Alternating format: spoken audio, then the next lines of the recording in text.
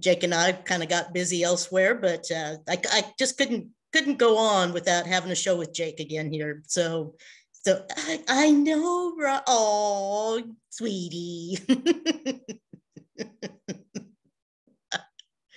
and we've got uh, a couple of our, our absolute favorite um, guests here. And oops, I cannot do, sorry about that.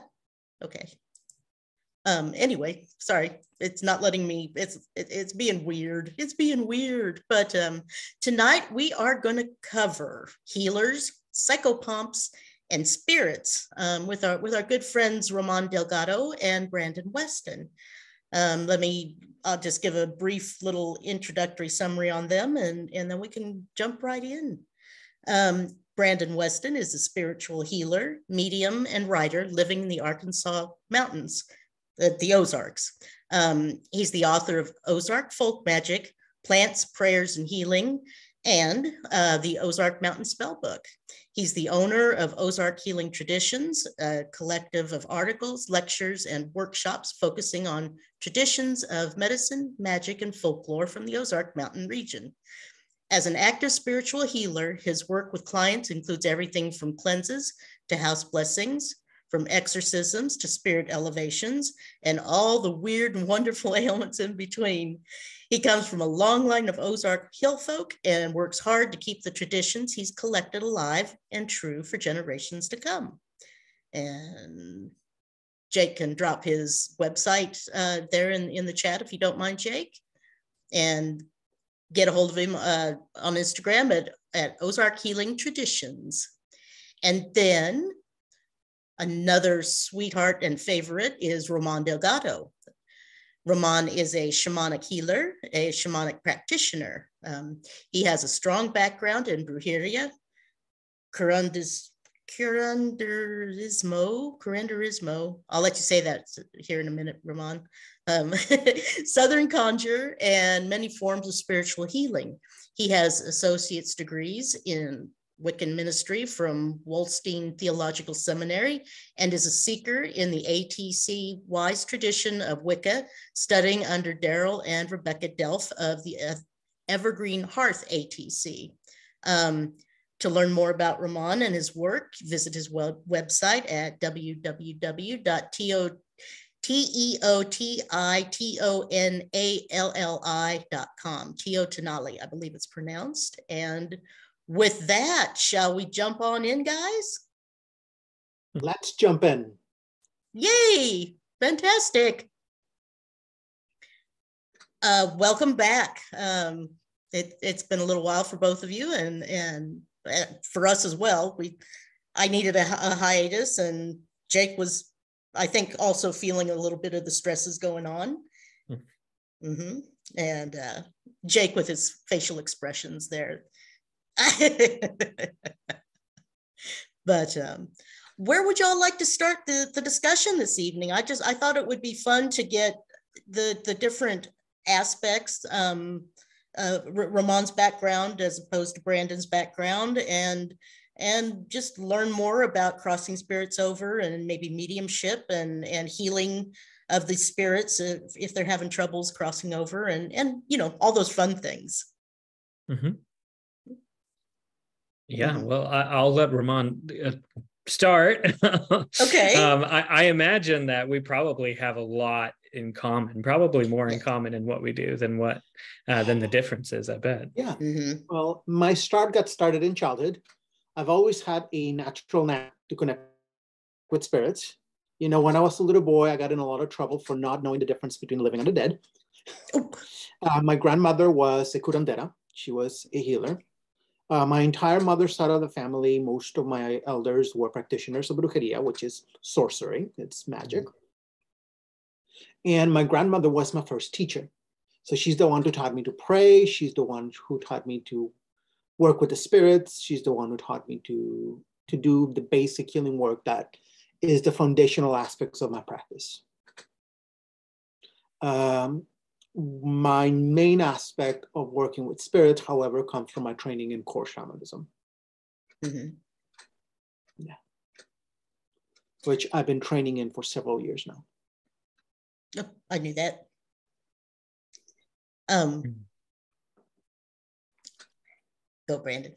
Oh yeah. So I mean, my, background. you're good.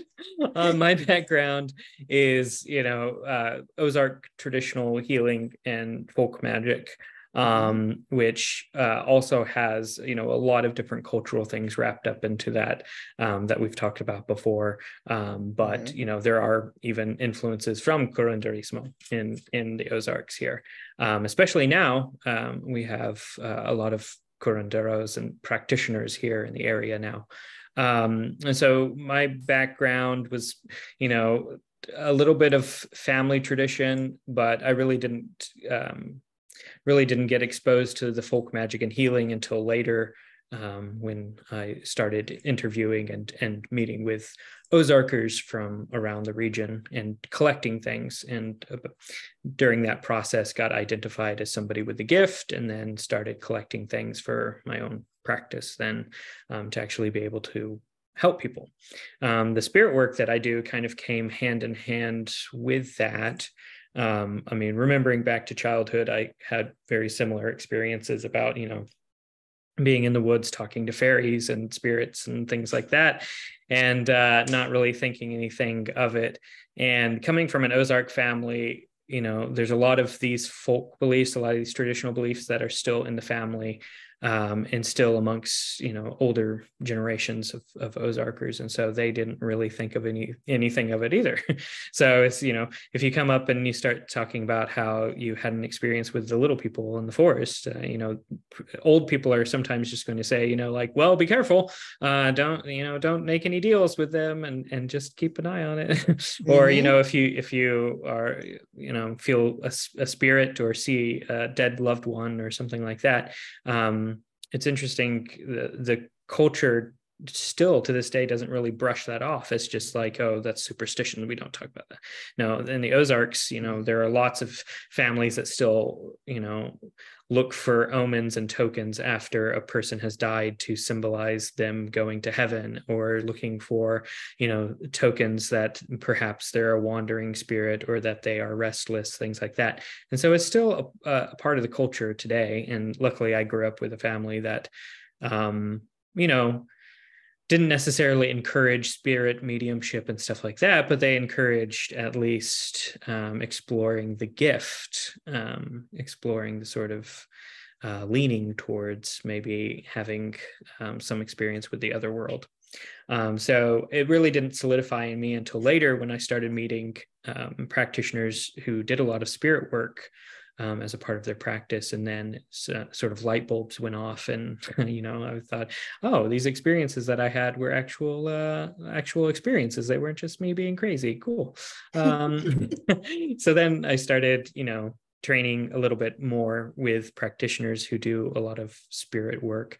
Uh, one of the teachers that I had introduced me to what she called a kinder exorcism, which essentially was based in, um, you know, spiritism and spiritualism, where the spirits around us aren't kicked out, they're not hurt, they're not trapped, like the old sort of techniques of exorcism. Um, she was all about ministering to spirits and helping them heal and cross over or elevate, things like that. Um, so that was a very interesting path to take um, because in traditional Ozark folk magic, so much of the spirit work is based in the sort of here are the methods to drive out a spirit or to trap a spirit or to, you know, kick a spirit out of your house. And so um, I have those methods as well as the methods that are really true to my heart, which are the the methods of healing for the for the spirits, things like that. You know, and it's a really interesting thing because I was just talking about this to a class I literally just finished teaching right before I got home. Uh, and it's the energy of a lot of the times when we're dealing with uh, depossession, with uh, crossing spirits over. A lot of us fail to understand that a lot of these entities that we're dealing with are not necessarily evil. Mm-hmm. You know, they're simply right. out of place. You know, mm-hmm. Uh, human beings who are, example, attached to someone, you know, even though they may have been toxic when they're alive, that doesn't make them evil. It's just that they don't belong in the world of the living. You know, they need to be in the afterlife. When we're dealing with spirits of nature, you know, have a spirit of nature attached to someone doing harm, It's just not that they are evil and doing harm, it's just that they are out of place, you know? Just because a, uh, a ladybug is beautiful doesn't mean it belongs where your liver should be. Right. so I taught, said that a lot about my classes. And even when we're dealing with spirits who religions speak them as being dark or evil or harmful, carry that same energy think about this energy of the lore of demonology, okay, when we're dealing with dark spirits. If you think about them from the perspective of their home dimension, where they were created, live, and do their work, what they do in everyday life, and their energy is perfectly in place and perfectly normal and needed where they work. However, when you get them out of their natural habitat into this that is the world of, of the living, that's when harm starts to come about. And when I do my work, one of the things that I've been learning more recently, it is the energy of respecting that, but also respecting the autonomy of the spirits. It's saying, hey, do you want to go home? You know, because they're dreaming their own dreams. Their reality and our reality may not be the same. So when we're encountering spirits, we need to remember they may be in a completely different mindset and in a completely different perception of reality than you. It doesn't make them evil. It simply means that they are out of place and they are thinking differently than you. And mm-hmm. because of that, when we meet, our dreams collide. Yeah, right.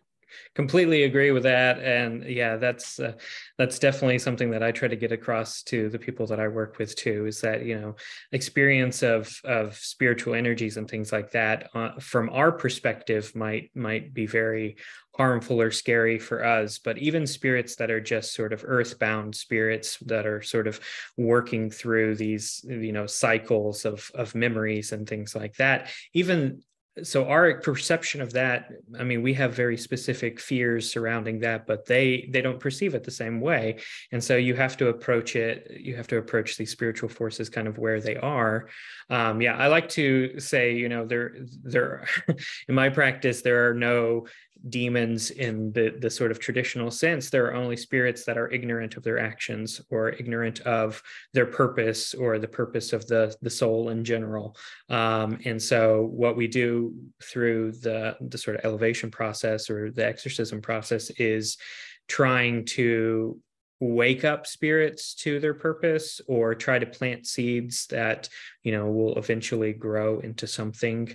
Um, and through that you know not only helping the spirits that are disembodied but also helping the embodied spirits too. So a lot of what i do is going into homes and places where um, I will do most of my work counseling the living people that are in the home. And then if there are these other spiritual energies around, I will also work on that. But I find, you know, probably seven times out of 10 that a lot of the issues are with the, inha- the embodied inhabitants in the place and not necessarily with the, the spiritual energies there. But yeah, a big thing about with Ozark folk practice and healing and folk magic both is this idea of returning to equilibrium. And so it, the body that is out of equilibrium with the, the natural world, that is how disease comes in. That's how curses come in, things like that. And it's the same thing with the spirit world. So the spirit world that is out of balance with nature, the spirit world that is out of balance with us as a part of nature, um, you know, part of healing that is bringing all of this stuff back into a natural cycle and back into this sort of equilibrium. And then a lot of problems can be resolved um, specifically when we look at like nature spirits and things like that. Mm-hmm. you know and it's really interesting. I think uh, uh, i don't know if uh, wendy can remind me of this or not. We've done a podcast before about my work with ancestral healing right? Yes yes. So people can look that back on on your archives. Mm-hmm. but when it deals with my ancestral healing, when I'm dealing with that, a lot of the times um, I get working with the dead. And I'm going to give an example for those who have not listened to the ancestral healing podcast.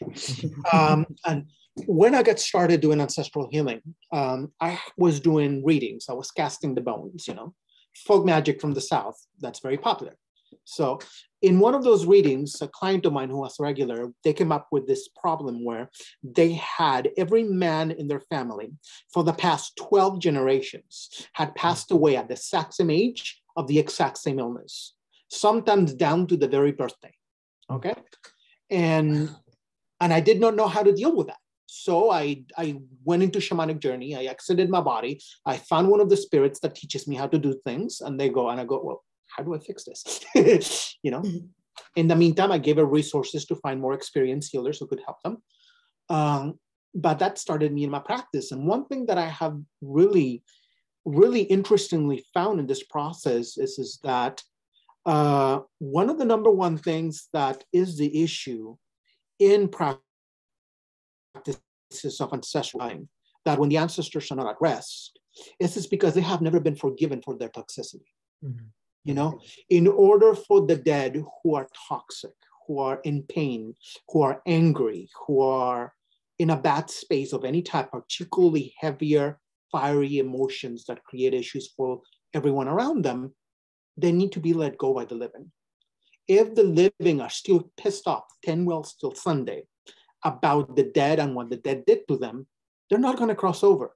And they're going to be stuck living around their family in the world of the dead getting angrier and angrier and more and more pain, creating more and more issues for the living.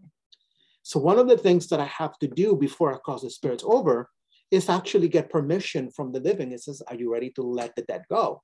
Are you ready to forgive? Otherwise, the, the healing cannot take place. Because that's an interesting energy is, is that as we go through this uh, podcast, we're going to be talking about this in more depth, I think. It says that there are aspects of healing that the dead need that they cannot have for themselves unless they cross over or unless the living give it to them. And forgiveness is one of them. Yeah. Until you forgive the people who have done you wrong, who have passed away, they're going to live rent free inside your head. And that is not where they should be. They should be in the afterlife. Mm-hmm. So forgiveness is a, is a big part of uh, the even even the exorcisms that you're talking about, Brandon, and and Ramon and talking about freeing your own mind from it, that's that makes a lot of sense, a whole lot of sense.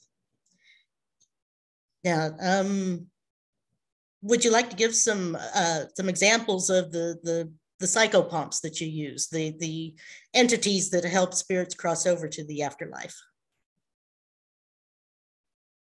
Either one of you is fine. I work very heavily with Archangel Gabriel if you look at Catholic lore from uh, from uh, many years ago, you know, from heavily in the past, the Archangel Gabriel was tasked from uh, taking the souls of the dead from the dead from the deathbed into the afterlife. It is why in Victorian tradition and still in many Latin American countries, particularly in Mexico, uh, we believe that it takes about 10 days for the soul to cross over. And it is why we still cover all of our mirrors with our cloths for 10 days and we still wear our mourning clothes for 10 days in a row and we say the rosary three times a day for them 10 days in a row because we're praying that they get to the afterlife afterlife safely. Um, i've worked with hermes in the past. I have worked with anubis in the past. Uh, another thing that is important to understand is working with protection because just because they die doesn't mean that they're saints right. so sometimes you need someone by your side to just keep an eye out. So I work very heavily with the Archangel Michael. I also work very heavily with Archangel Raphael to just help the healing process. Sweet. I tend to uh, I tend to bring in a lot of ancestral spirits, and what has helped me is in a situation where if it's you know if i'm dealing with somebody that i know the family i can bring in the spirits of that family and the ancestral spirits specifically related to that person.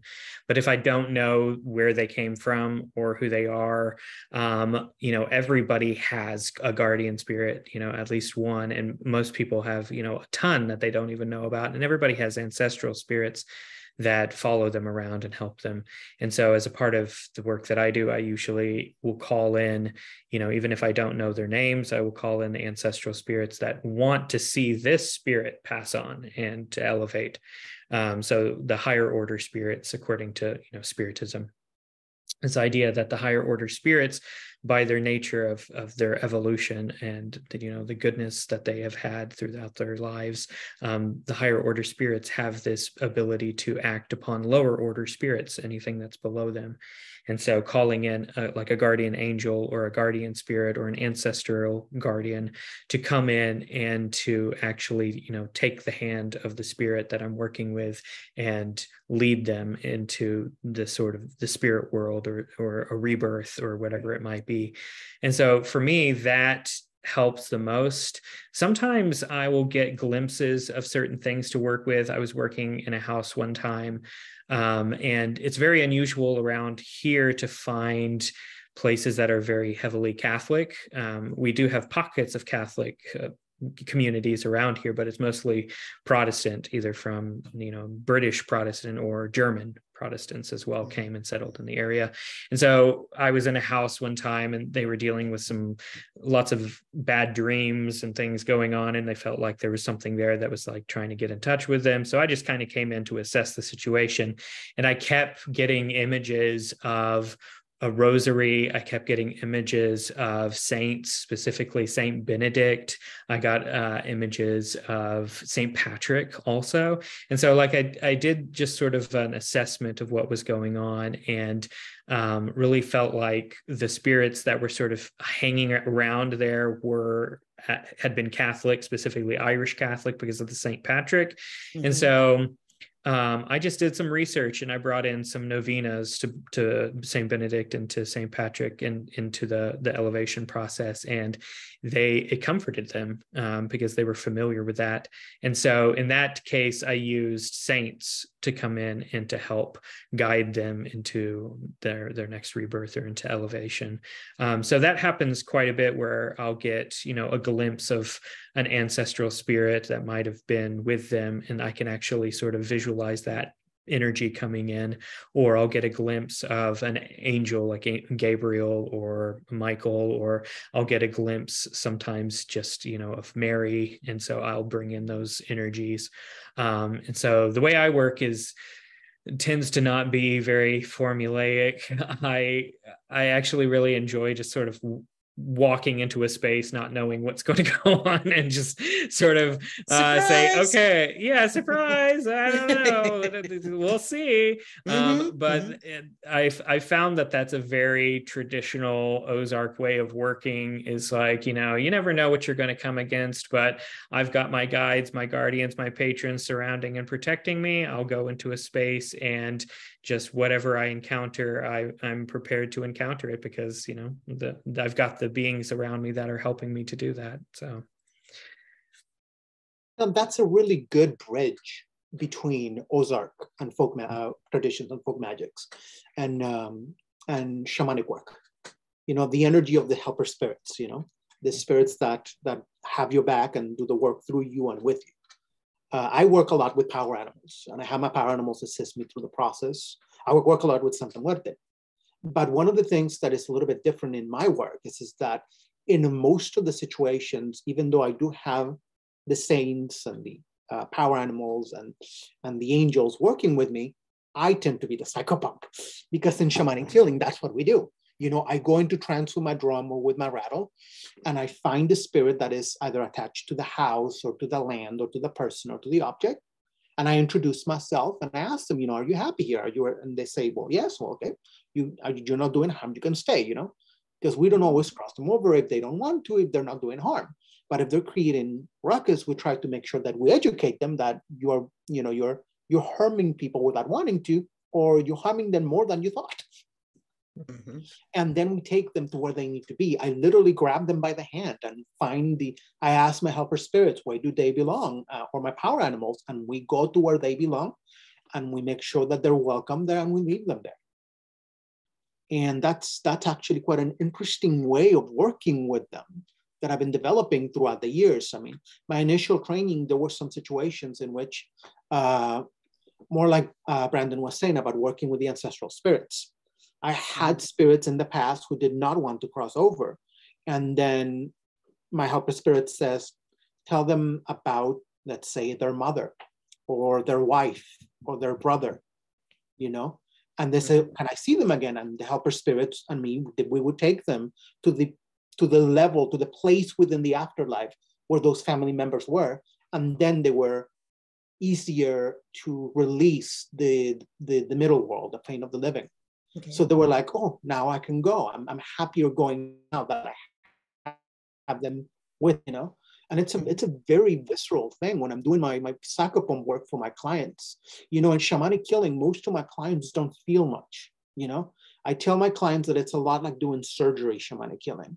You know, you're knocked out during the surgery. You rarely feel anything it is afterwards that it gets intense in the in the integration process mm-hmm. but the one portion of the healing when they do need it and they have it is the psychopomp work they always feel something i have clients telling me in the past that they felt like somebody was touching them and when when i finished crossing them over they felt the release like like the arm that was being grabbing them let them go i had clients that started crying profusely because in their own way they felt the dead leave. I had clients that said that they they had a vision of the heavens opening up, receiving their loved ones. And it's always so visceral for them and it's so healing for the living because a lot of the times the living don't fully realize how much the dead can influence the well-being of the world of the living when they no longer belong here. Mm-hmm.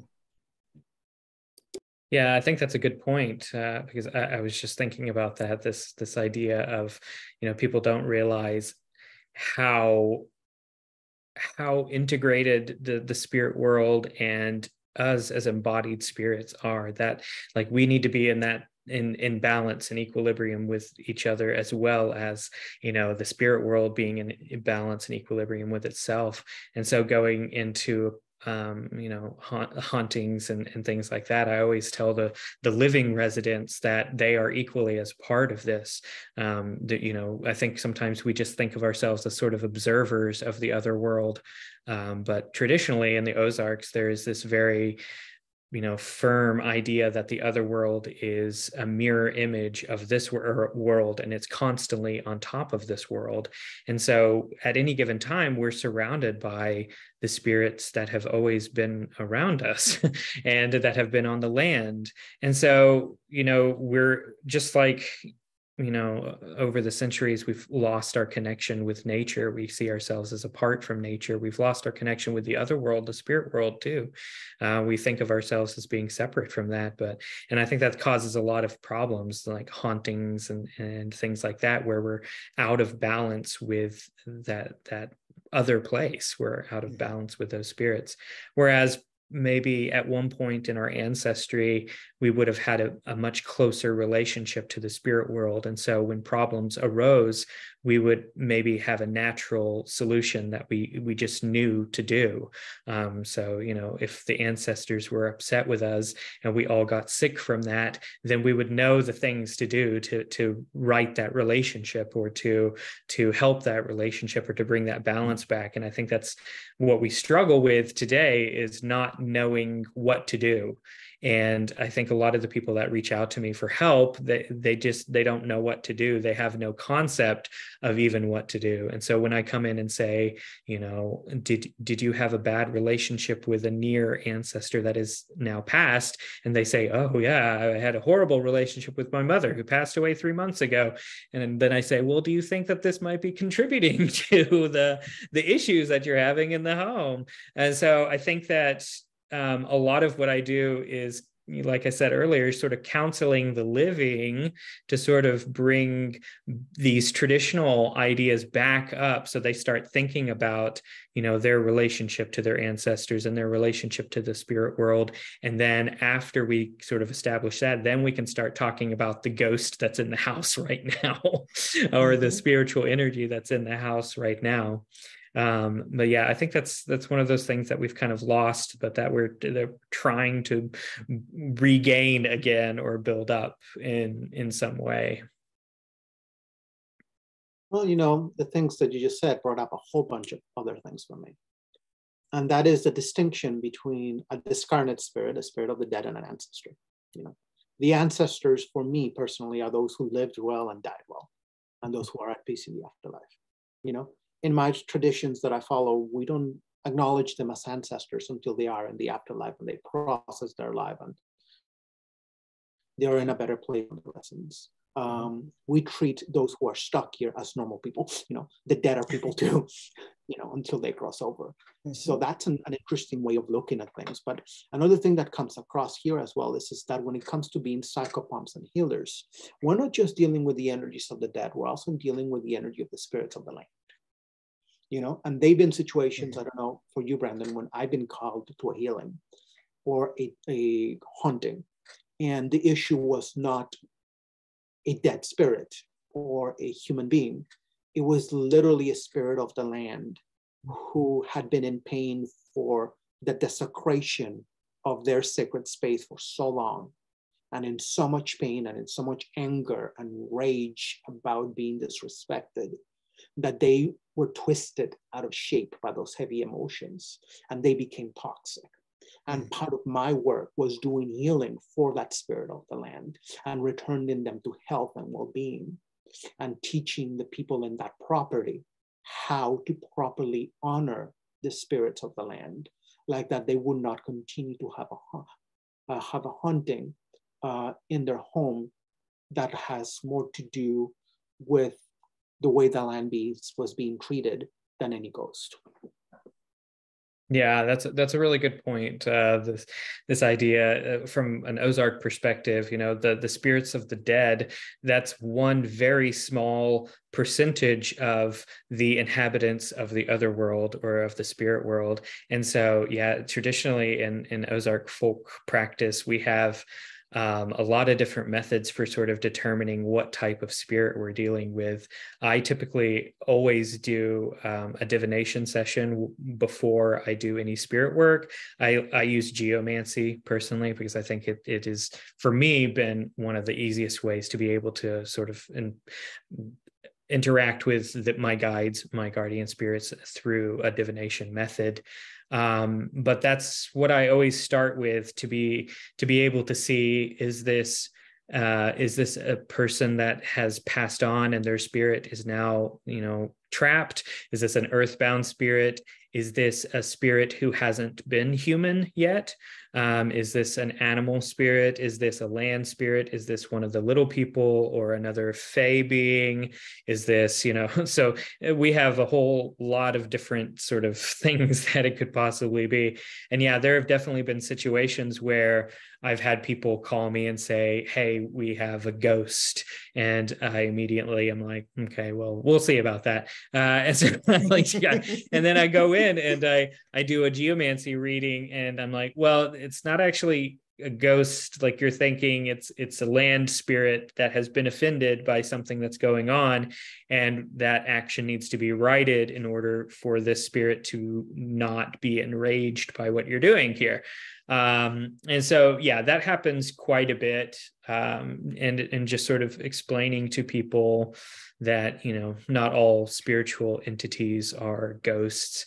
Um, it doesn't help that traditionally Ozarkers, um, because we've kind of had to protect a lot of our stuff under the guise of Christianity, um, a lot of the language sort of makes it confusing too. So I've still encountered old timers who refer to all of these different beings as angels. So even fairy beings, even uh, beings, oddly enough, even beings that are tricksters can sometimes be referred to as angels, trickster angels, things like that. Or sometimes they're all referred to as spirit. Um, which makes it kind of confusing when you're going through and saying, well, the umbrella is spirit, but underneath it is all of these different types.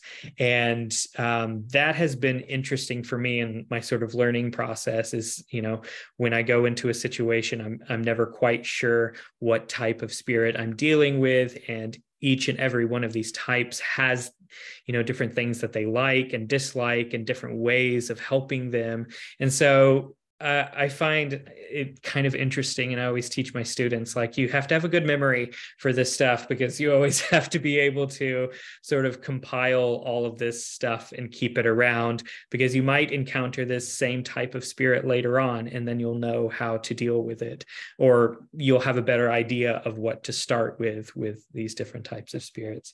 Um, land spirits, the I, I, would say the the spiritual entities that I encountered the most here in the Ozark Mountains, um, ghosts, uh, you know, departed recently uh you know embodied spirits um that that type of energy i i encounter a lot. And then land spirits and then the little people um because the little people are everywhere and they are often uh um can be very protective, but can also be very sort of tricky. And uh, when you have an area like this that is very ancient and very um, very closely connected to lots of powerful land features and you have urbanization going on um, people are constantly coming face to face with the little people and there's a lot of problems that result from that sort of interaction so um, a lot of times when i get called to a place um, it's it's for something from the little people well you know and that brings up a point that is very interesting for people who are listening who are thinking about contacting a spirit worker to cleanse their home or a person or the house. You know, and for me personally, if you encounter a spirit working and they walk into your house or they look at your at your uh, at your person that needs help, and within two seconds they tell you what's wrong with them, for me that's a red flag, because this kind of work is so much more complex than just uh, a clairvoyant uh, expression of what's happening. You know, we need to understand the complexity of the situation. I think um, when we did our soul level illness, uh, Wendy, we talked about how illness never stands alone. Mm-hmm. By the way, I still have that podcast embedded on my website. Oh, fantastic! My, for my clients to, to to understand what I do better, and they love mm-hmm. it. Oh, anyway, besides the point. but never stands alone. Of those, whether it's for the living or for the dead, for physical or for spirit, or even for the land. So when we stand in a place and we just go, oh, that's the problem, we're only looking at the tip of the iceberg. You know, when you have an, a skilled and experienced healer, yes, we look at the, the tip of the iceberg, but we need to have the sanity and clarity of, of spirit to delve beneath the surface and see the true root of the problem. You know, this is why in the South and including some parts of the Ozarks, a lot of this work is called root work because we mm-hmm. doctor the root of the soul. That's another word for Southern conjure. It's called root work. Not just because we work with roots and oils and candles and herbs and all of that, because we doctor the root of the soul. And not only the soul of the living, uh, but the souls of the dead, and the land, and all of our clients. It's the energy of doctoring the very essence of who needs help in any time necessary. And a lot of the times it's not as simple as, oh, yes, you have this problem. You know, it could be that somebody offended the land or that the land, you know, or in the case of ancestral healing is, is yes, this person was toxic and they're stuck in the world of the living. But the issue is, is that you have 10 generations of them that are still pissed off at him and they won't let him go. Mm-hmm. that's a perfect example of that. Illness never stands alone. And as healers, you need a healer who's willing beyond their initial impression and get the full picture to understand the full extent of the illness. Mm-hmm. Yeah, uh, from an Ozark perspective, um, just to mention quickly about that. So, with the healing process, um, everything, yeah, illness is so much more complicated than it just is on the surface with surface level symptoms, things like that. And within Ozark healing theory, we we are very strongly connected to the zodiac signs still. So the zodiac cycles and the moon cycles, things like that. And so within the body, you know, the zodiac houses are represented from the head down to the feet. Um, each house house is represented in the body. And so when somebody is looking for an illness, even within an embodied person or within a spirit, you have 12 different houses to consider um, as a part of the diagnosis process. And that's for the living and for the dead.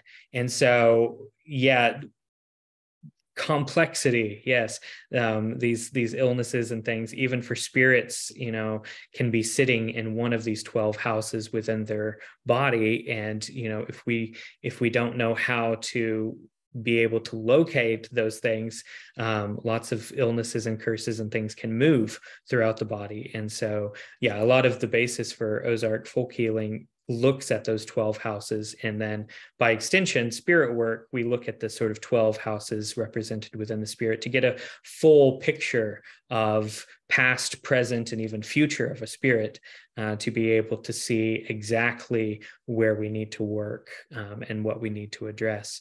So yeah i agree with that completely that um, yeah if you go to a spirit worker and they just sort of rattle off an answer immediately maybe question them a little bit. Um, and just to go along with that um, people always sort of ask me people that are interested in doing sort of spirit work stuff what my you know one of my suggestions for getting started is, and I always suggest get in touch with divination first um, because divination is such an important part of my spirit practice from an ozark perspective. Divination especially a very complex divination system like geomancy that relies upon the 12 houses of the zodiac um, it's going to give you so much better pic- picture and so much deeper picture of the situation than if you were just going to go in relying on intuition alone. And I use a lot of intuition and I use a lot of sort of feeling from my spirit guides and guardians, things like that. But I always verify that with a, a divinatory system. Um, there were two questions posted. Do you want to hold off on questions till after or or go with them as they're popping up? I'm fine going with them when they pop up. Yeah, let's go with them as they pop up. Okay. Then... give us more things to th- talk about. Yeah. uh, let's see. Oh, there it is. You want me to get it or you want me to ask or?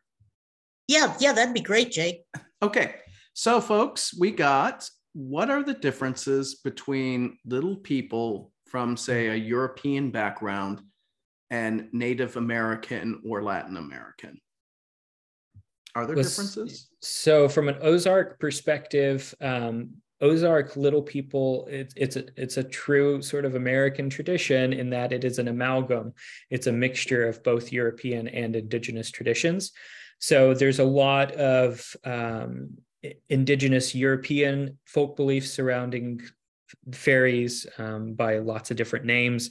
Those all both from you know northern europe as well as from sort of the celtic countries. Um, all of that came over to america with white settlers. And specifically you know if we're looking at the ozarks um, in appalachia this sort of european folk knowledge mixed and mingled with both indigenous uh, southeastern folk knowledge as well as West and Central African folk knowledge too. And so you can say the, the Ozark approach to the little people is a, a really good representation of both uh, of Europe, of Africa, and indigenous America as well. Um, so yeah, I get that a lot uh, because the Ozarkers, we still refer to them as the little people. And um, I know the Cherokee say little people, I think the Muskogee Creek say little people as well. And so I, I, get that question a lot from people is, you know, are, are the Ozarkers just, you know, taking the indigenous little people and, and mm-hmm. no, this is, uh, we refer to them as little people. It's a, it's a true sort of American amalgam tradition um, of a lot of different folk beliefs from a lot of different places. Um, and I will say, I mean, the, the Ozark and Appalachian approach to the, the little people is pretty unique as far as like fairy beliefs go in America. Um, there is a lot of very interesting variations on uh, the folk beliefs surrounding the little people here. Okay. And Roman, when it comes to say Latin America, um, how how does could you describe it? Well, in uh, my part of the world, where my ancestry comes from, and where I spent some time living, uh, there's very little mention of the little people. Hmm. What we have very commonly is the influence of the Spanish. Okay. The Spaniards brought their own lore uh, about the spirits of the land. Uh, a good example of that would be uh, spirits surrounding uh, old trees. You know, mm-hmm. there's this very common uh, superstition and knowledge that has been hidden beneath the superstition about a spirit we call a duende, which is basically a tree spirit. I'm going to tell you a story about that because we have time. okay. Absolutely. Duendes were believed in Mexico to, if you disrespect the, the tree that they were guarding, to steal the soul of the person in, uh, in culprit of this, that disrespect and kill them. So many years ago, when I was a small boy, a young man contracted me to go get some beer for him and his friends to eat at the park, to drink at the park. You know, they were getting drunk at the park. So there I go. When I finish, I give him his beer. And there's this very ancient avocado tree in one of the corners of the park. And um, we all knew that a duende lived in that, that tree. We did not go there on the night of the full moon or the night of the new moon when the energies were peaking. Okay. And he started just being boisterous and disrespectful and drunk, basically drunk. Mm-hmm. And we all saw two red eyes glowing about many yards away from the tree. And we all turned away and didn't look and did not engage the, that energy. He mm-hmm. did. The second he saw those eyes and they connected, he screamed and dropped dead as a doornail. Oh my gosh. And oh, his mother, their house was adjacent to the park. So she was watching all of this through the window. Hmm. She screamed this blood curdling scream for her son and came running down and wrapped him in a shawl, got her rosary and started praying to the rose, uh, the rosary to them, praying the rosary to God to bring her back her baby, to bring her back her baby boy, her son, which he was a grown man by now, but understandably so. And the more she prayed, the more the wind picked up okay? The more it started to storm and there started to be lightning and rain and all of this and by the time she finished the rosary he opened his eyes and took a deep mm. breath almost like he had been drowning. Oh my word. And i told this story to a very prominent author in fairy magic that i met at a festival. And then she he stopped and he said roman this has nothing to do with the rosary she was praying. And then he goes the the little people understood the mother's pain. Mm-hmm. And it was her mother's pain, her love for her child, the love in her heart that saved his life. That's a good that's story. A, that, that's a really good story. Yeah. I don't know if um, Brandon has anything to say and an insight on that story. Well, I mean, yeah, there are so many Ozark type of that type of story. It's always very exciting and interesting for me to hear stuff like that. Uh, i mean yeah so in the ozarks we uh, are a heavily forested place and it, so trees in particular have always been protected by ozarkers especially those that live out in the hills. Um, you don't chop down fruit trees. You don't chop oh. down trees that produce you know things that you might eat from but also you don't chop down um, oak trees and ancient you know just big trees. Sycamore trees are ghost trees so you don't chop them down because they have these spirits attached to them. And so, yeah, there's lots of that sort of similar tree lore here. And the little people are known as protectors of nature uh, amongst all of the different types of sort of fairy beings that are here. The little people are the most protective and yeah i i met a guy once um, he the, his family had owned some a big piece of land in the ozarks for many generations. And his one of his uncles when he was so when this guy was a kid one of his uncles plugged up a natural spring on the land um, because they wanted to make more farmland and the spring was in the way and flooding the area. So they dammed it up they rocked it up. And um, he said his uncle right after that got sick and got sicker and got hmm. sicker and they couldn't figure out why. And um, so finally they talked to somebody who knew things uh, a gifted person in the the area and that person said that they had to go rebuild the spring or else the little people would kill him.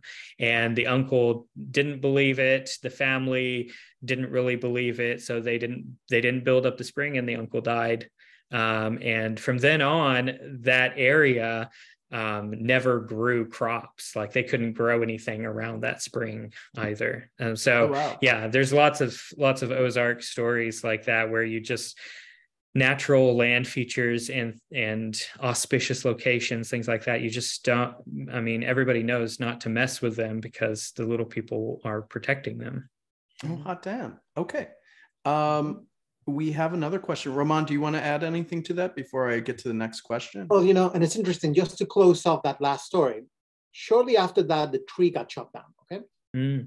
that particular park was a members club for members uh, people who worked in the railroad Okay. Uh, within a year, within I think six months of the tree being chopped down, they cut the funding and the park closed. the curse. mm-hmm. Wow. So the next question we have um, deals with root work.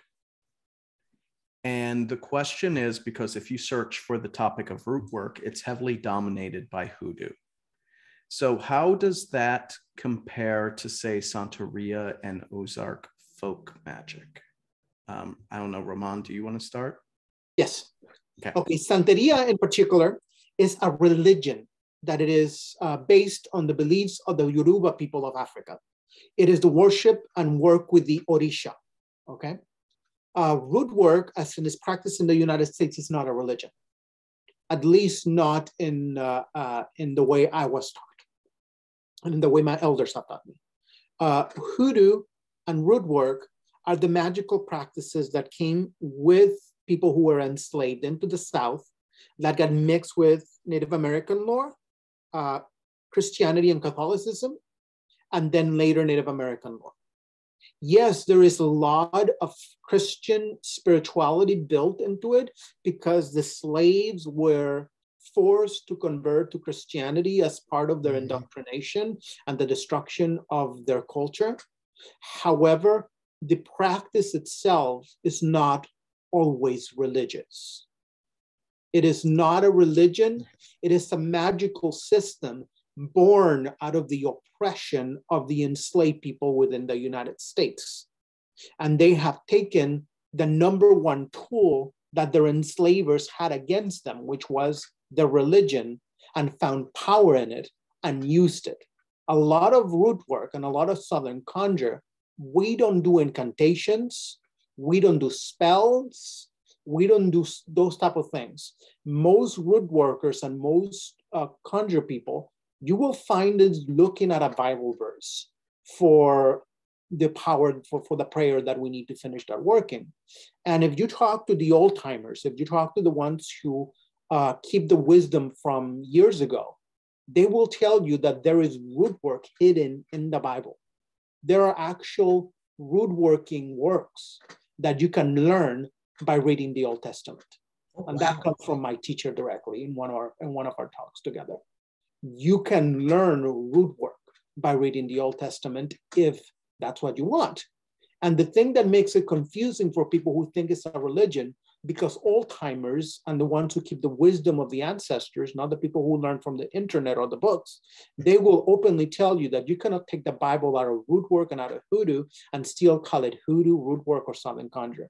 That is something completely new and different. Yes, it is powerful. It works. It's not traditional hoodoo, it's not traditional root work, and it's not traditional Southern conjure, which are all interchangeable terms for the same thing. I don't know how that relates to Ozark traditions, but I would love to, to hear. Yeah, uh, so I think um, I get I get this question a lot because a, a, lot of people are familiar with Southern root work, um, and they're seeing Ozark practice, and Ozark practice is very similar to a lot of the things that are done within root work. And I would say that you know there are a lot of similarities because again, um, Ozarkers didn't just spring up out of the ground with this tradition. We come from Appalachia. Before that, we came from the East Coast, from Pennsylvania German country. From before that, we came from you know across Europe across West Africa, Central Africa, Central Africa, a lot of different places. And so Ozark folk practice is an amalgam. And one of the things that it has amalgamated into the practice are indigenous practices as well as West African and Central African practices. You do find, um, so where I am in Arkansas, if you go south towards the river valley or east towards the delta, you find what I like to call the borderland regions, which is where the Ozarks meet um, another culture. And specifically, the River Valley culture and the Delta culture is heavily, heavily influenced by Southern rootwork conjure. So if you've ever heard of Aunt Caroline Dye, who is probably one of the most famous hoodoos or conjure women, um, she's from Newport, Arkansas, which is just uh, about an hour and a half outside of the Ozarks.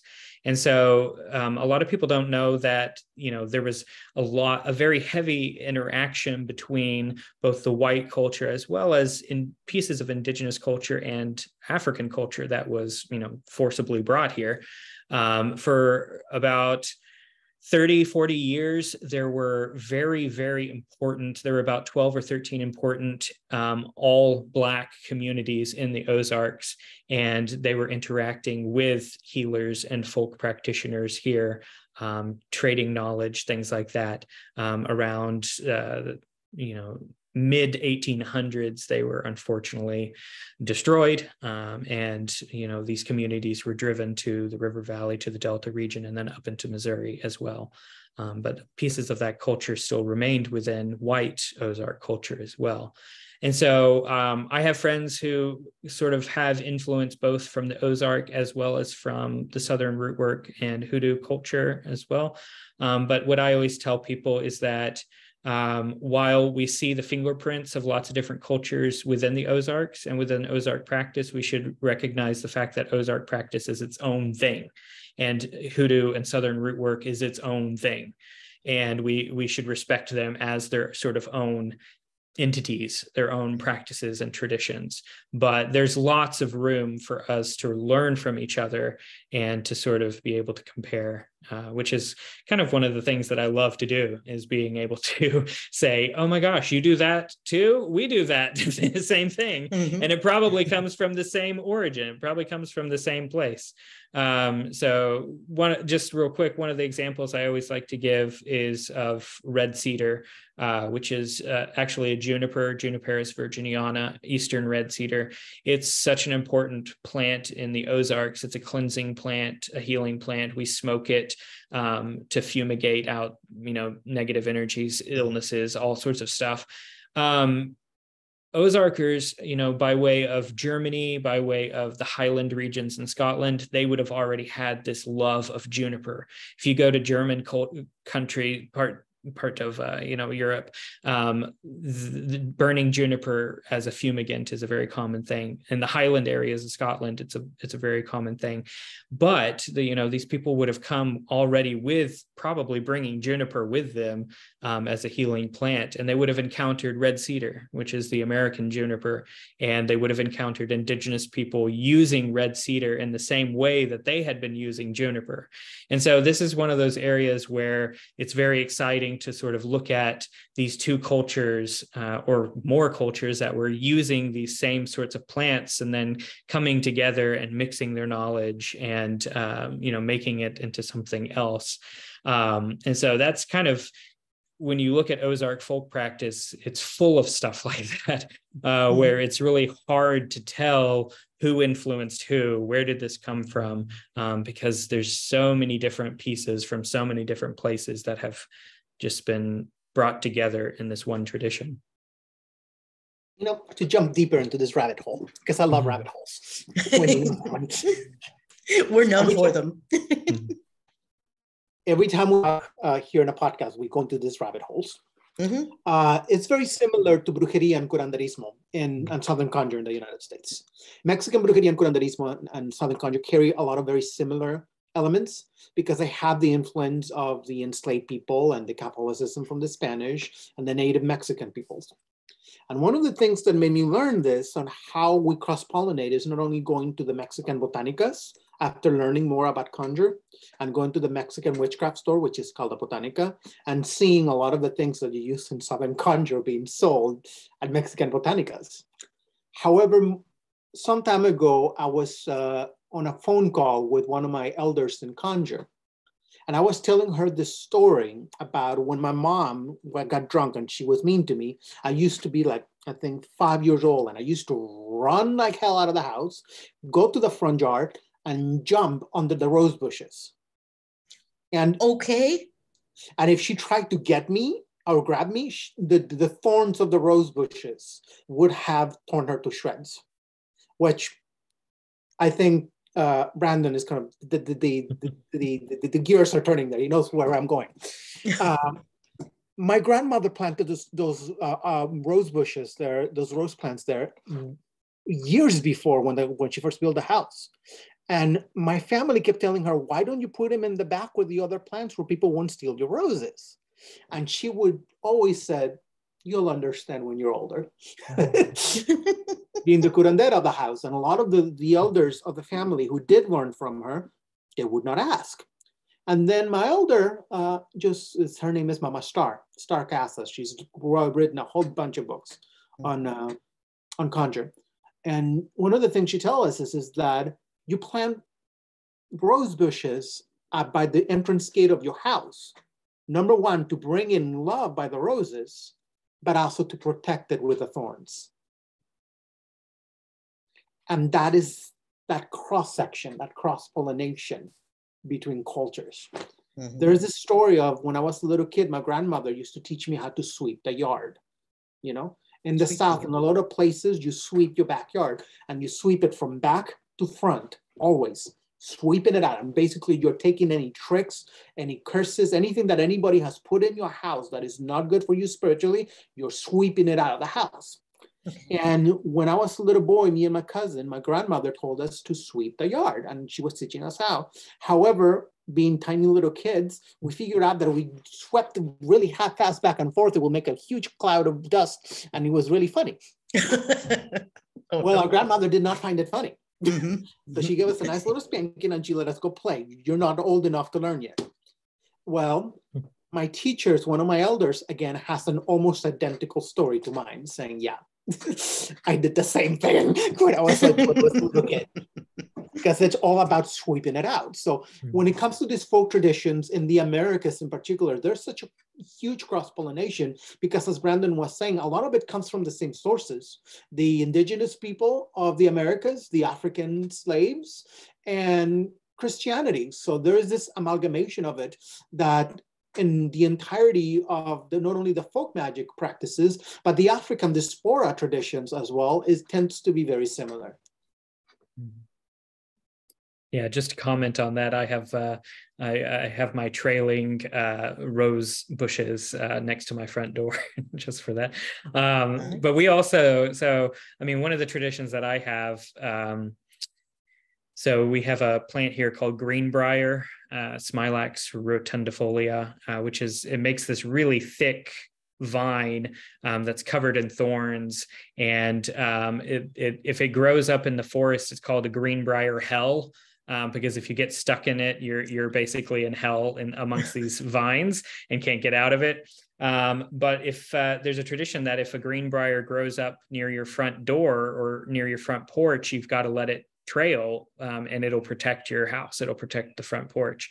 Um, so i had one pop up uh, just this last spring actually. F- finally I've, I've been willing you know protect my house protect my and so one actually popped up near my front porch and so i've got it sort of trailing up to where you can't step in it but it's there so that you know protect your house. Um, so yeah there's a lot of that um, old knowledge that we just sort of take as you know oh just something that grandma used to do or oh that's just the you know the way you do things. But there was a purpose to it. Mm-hmm. and there there was often both a surface level purpose but then also um, a hidden magical level purpose or spiritual level purpose as well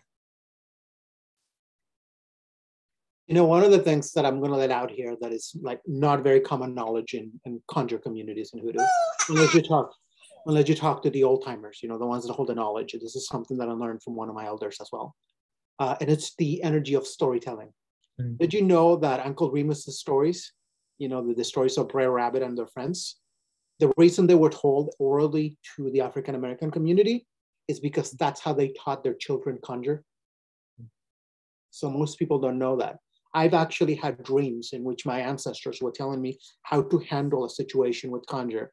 Then the next day, I'm thumbing through the stories of Uncle Remus and Brer Rabbit, and that same working is embedded into one of the stories I just read. A good example of that is the story, you know, that Disney made into the movie when he gets Brer Rabbit gets stuck in the car, right? Mm-hmm. And he's telling the world, please don't throw him, throw him into the briar patch. Please don't throw him, throw him into the briar patch. Anything but the briar patch right, right. horrible, right?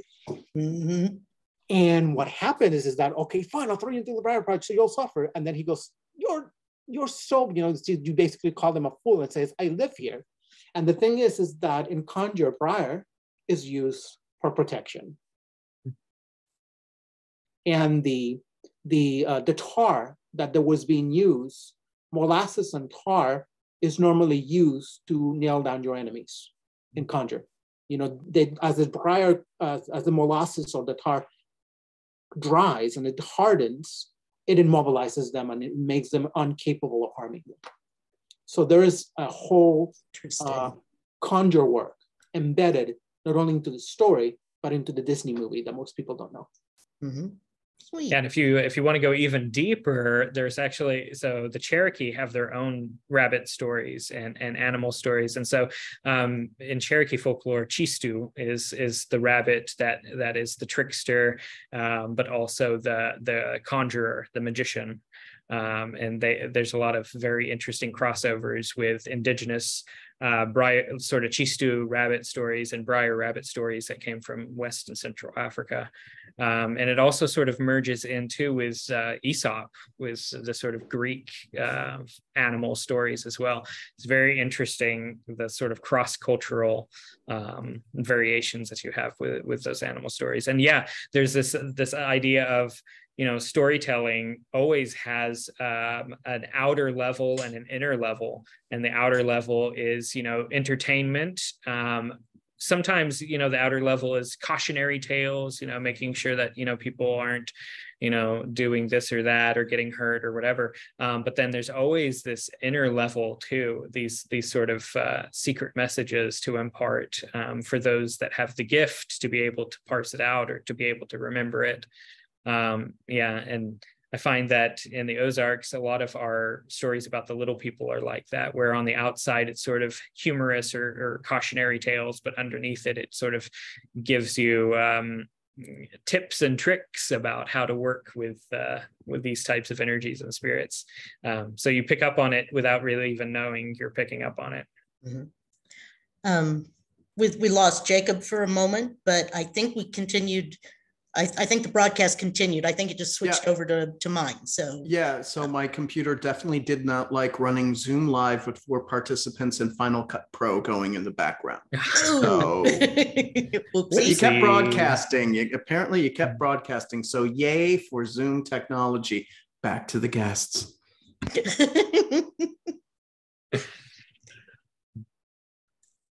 well, I, yeah, and I think that we we had at one point interconnected our, our accounts with Zoom. So I like I say, I think it just switched over to me. I became the host for a minute and then now we're back with Jake for hosting, I think, maybe. I am the host. Yes. Okay. The host is with the mostest. Mm-hmm. Wow. Um, okay. Yeah, Heather there in uh, in the chat, she said she's heard uh, the protection uh, uh, stinging nettle is a good protection in, in your yards. Mm-hmm.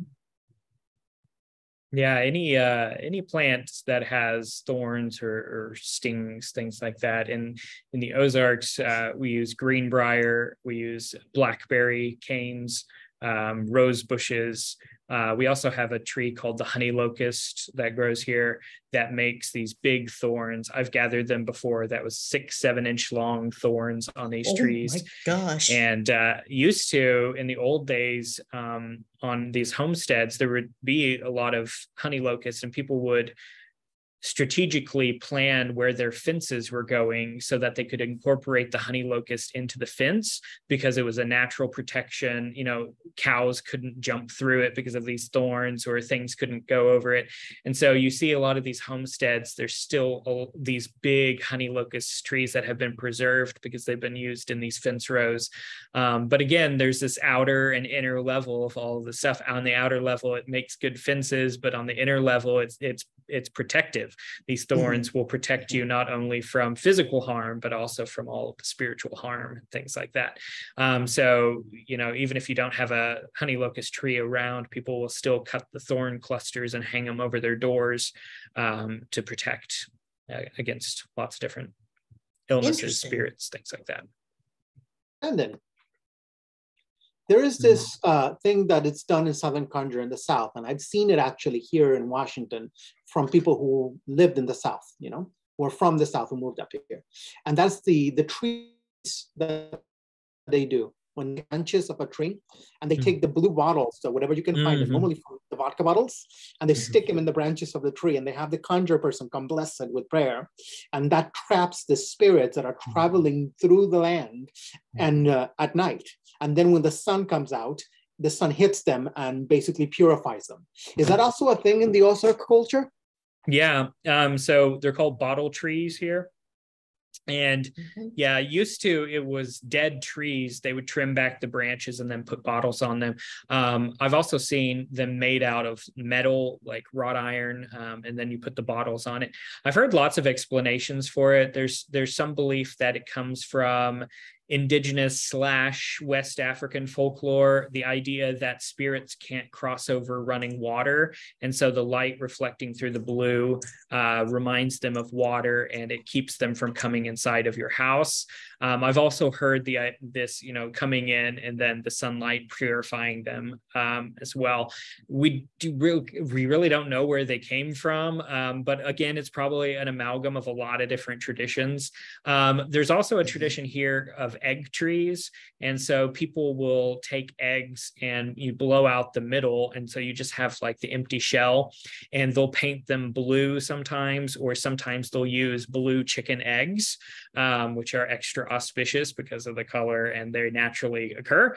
Um, and then they'll hang them up in a tree. And I, I met a lady that had one of these egg trees and she kind of explained to me what was going on. She said that, you know, you hang up these eggs and evil will get trapped in it. And if one falls off the tree and breaks, it means that you know it stopped this evil from getting to your house um, and it sort of absorbed it before it could get to you um, so no yeah the bottle trees and egg trees both are kind of a tradition. Um, i've also seen them um, with different colored glass of browns and greens and things like that. Um, in certain places they've become just sort of decoration. Um, so like the the meaning behind it has kind of been lost. But yeah, there are a few places where you can still find the old blue bottle trees. Didn't that originate with the uh, the Gullahs down in mm, Louisiana? Yeah. Okay. Uh, well, so Gullah culture is uh, South Carolina, but oh yeah, my I, bad. Okay. Yeah, um, but I have I've have heard that story too. Um, that mm-hmm. it originated, and also um, in the South, you sometimes get haint blue, which is mm-hmm. a certain color that people paint their front porches.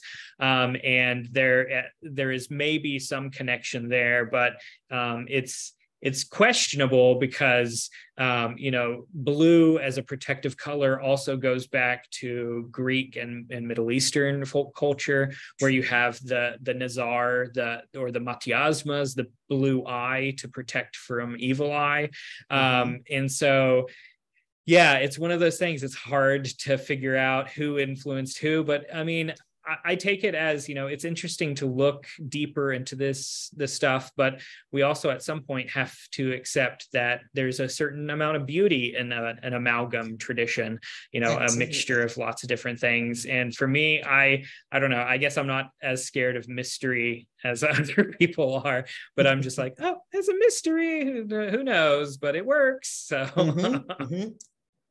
You know, one of the things that you brought up that got my gears thinking as well it's a practice that is incredibly common in Mexican brujeria and curanderismo that I've also seen in Southern Conjure.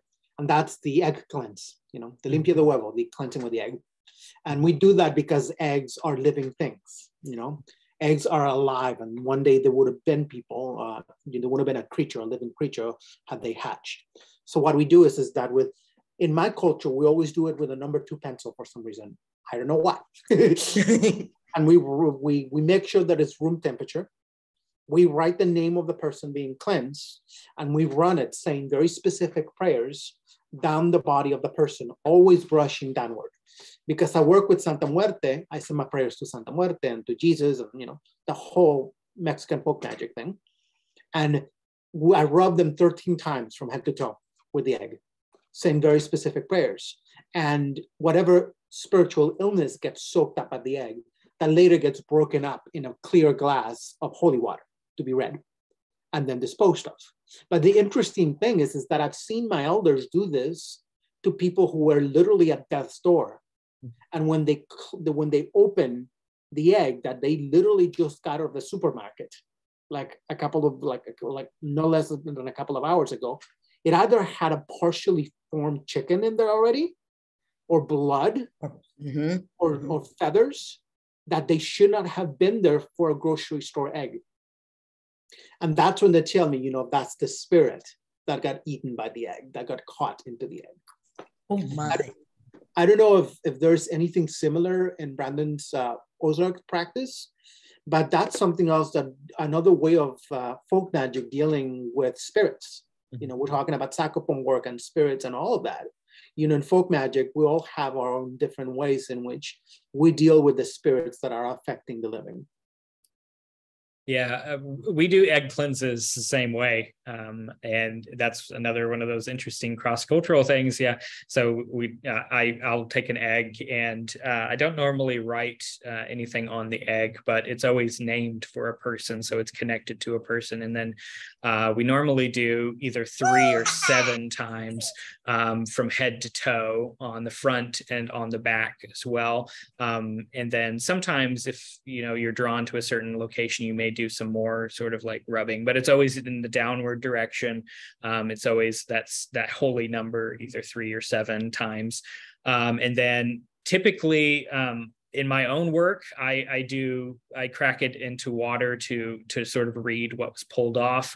Um, but the the people that I've kind of learned from, they would just take the egg and they would have the person uh, like hold a paper towel and then put the egg on it, and then they would have them blow onto the egg and throw it against a tree, and that smashing action releases whatever was drawn out. And the tree has this natural ability to be able to take it into the earth and let the earth neutralize and rebalance and purify whatever was was taken out.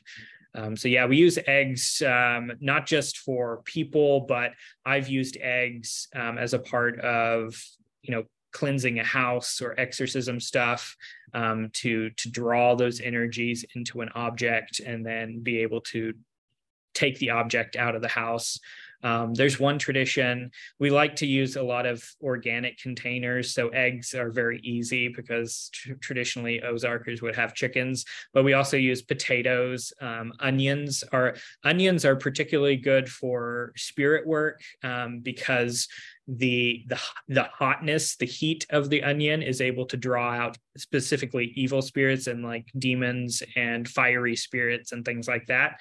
Um, but you will take that and then you know whatever your your spirits you're getting out of the house you'll you'll do a ritual to to draw them into this object and then you'll take that and bury it in a cemetery and you'll lay the spirits there um, the cemetery being this gateway into the other world. So you're actually physically taking them from a location and rehoming them in the, the other world uh, by way of the graveyard or the cemetery.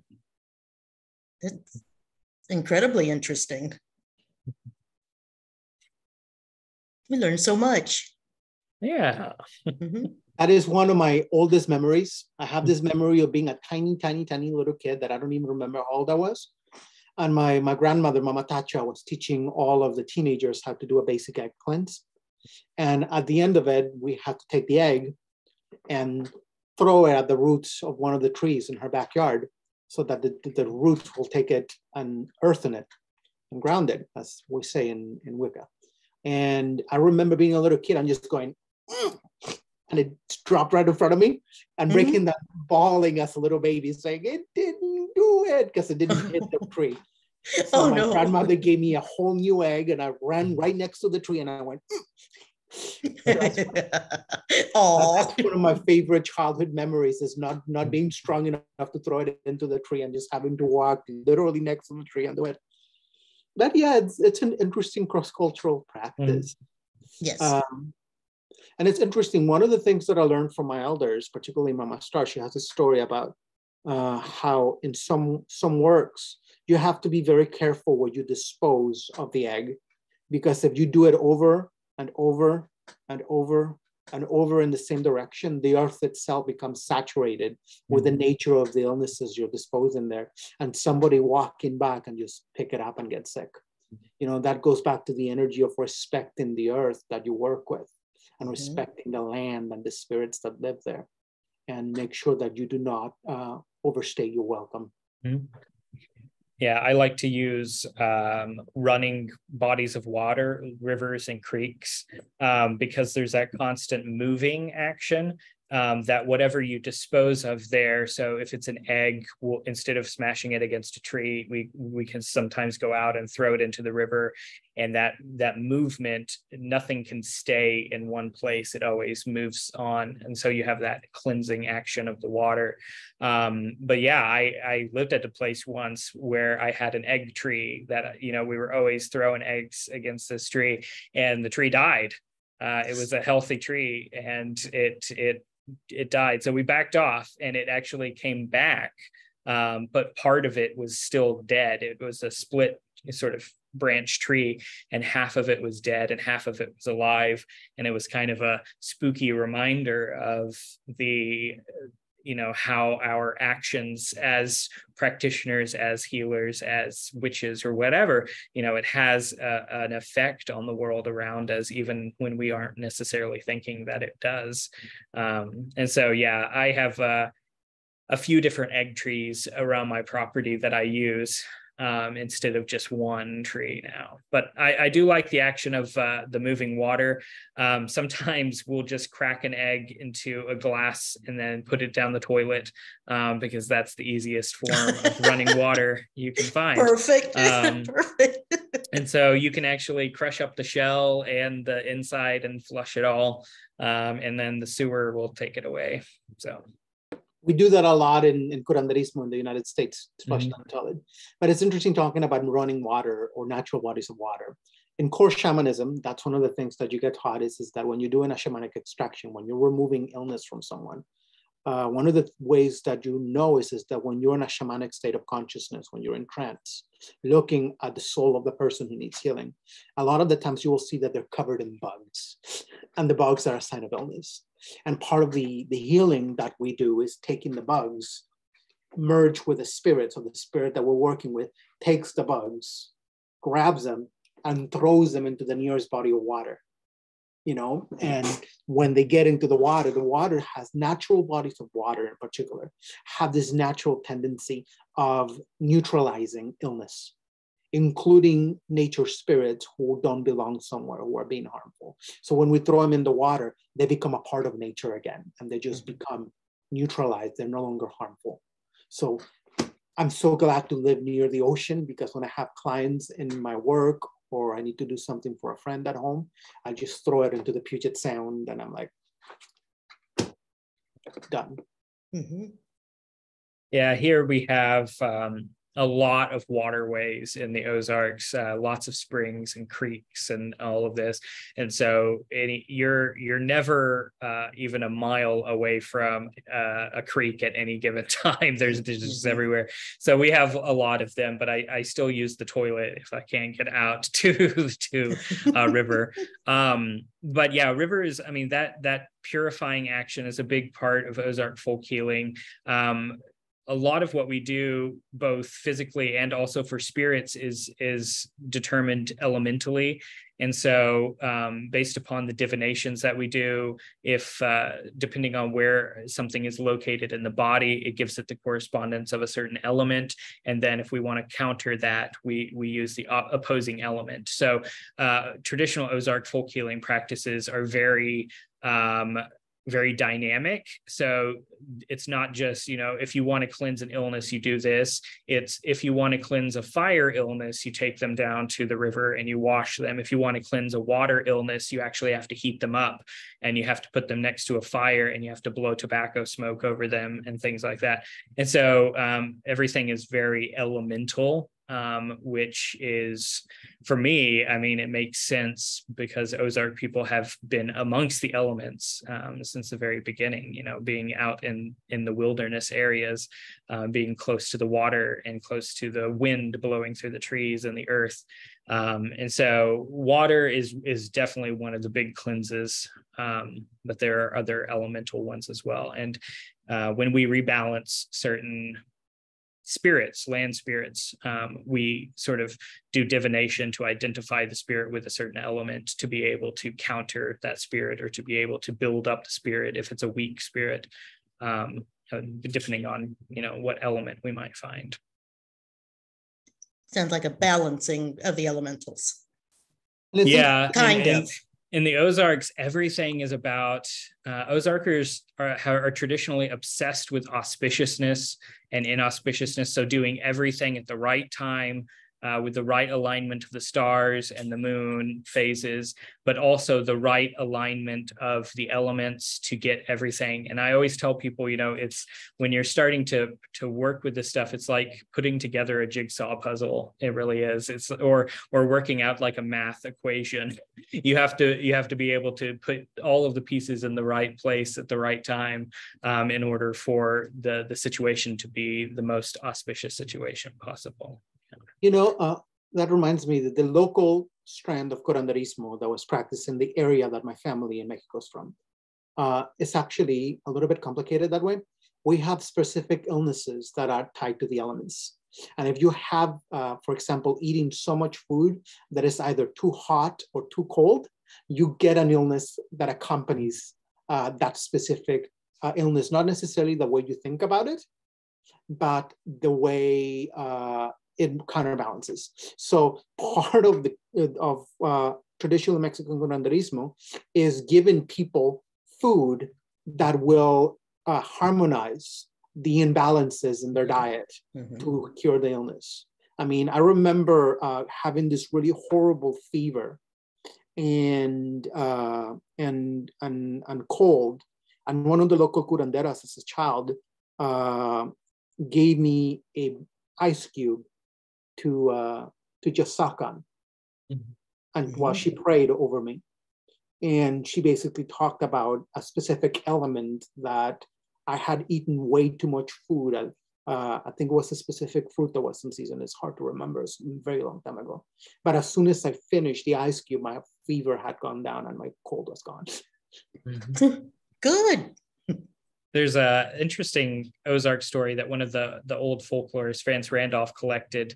Um, in the first part of the 1900s, um, there was a lot of food shortages across the Ozarks. And so people were sending crates of food out to these rural areas to help supplement people's diets um, to sort of get through this time. And uh, one of the things that they were shipping out were citruses. So they were shipping out grapefruits and oranges. And the Ozark people had never seen a grapefruit before, um, but they knew it was a citrus. And when they were shipping these out was during the fall and winter. And you never eat citrus in those times because it's it's cold. It's a, so raw fruit. It's a cold, and you don't mm-hmm. want to eat cold things when it's cold. And so um, this folklorist uh, collected these stories about people who were taking the grapefruits and boiling them um, to heat them up in order to so that they weren't so cold. So they were eating hot grapefruit um, in order to in order to keep from getting their bodies too cold during the winter mm-hmm. by eating the citrus. So yeah. I guess if you're starving, but um, mm. yeah.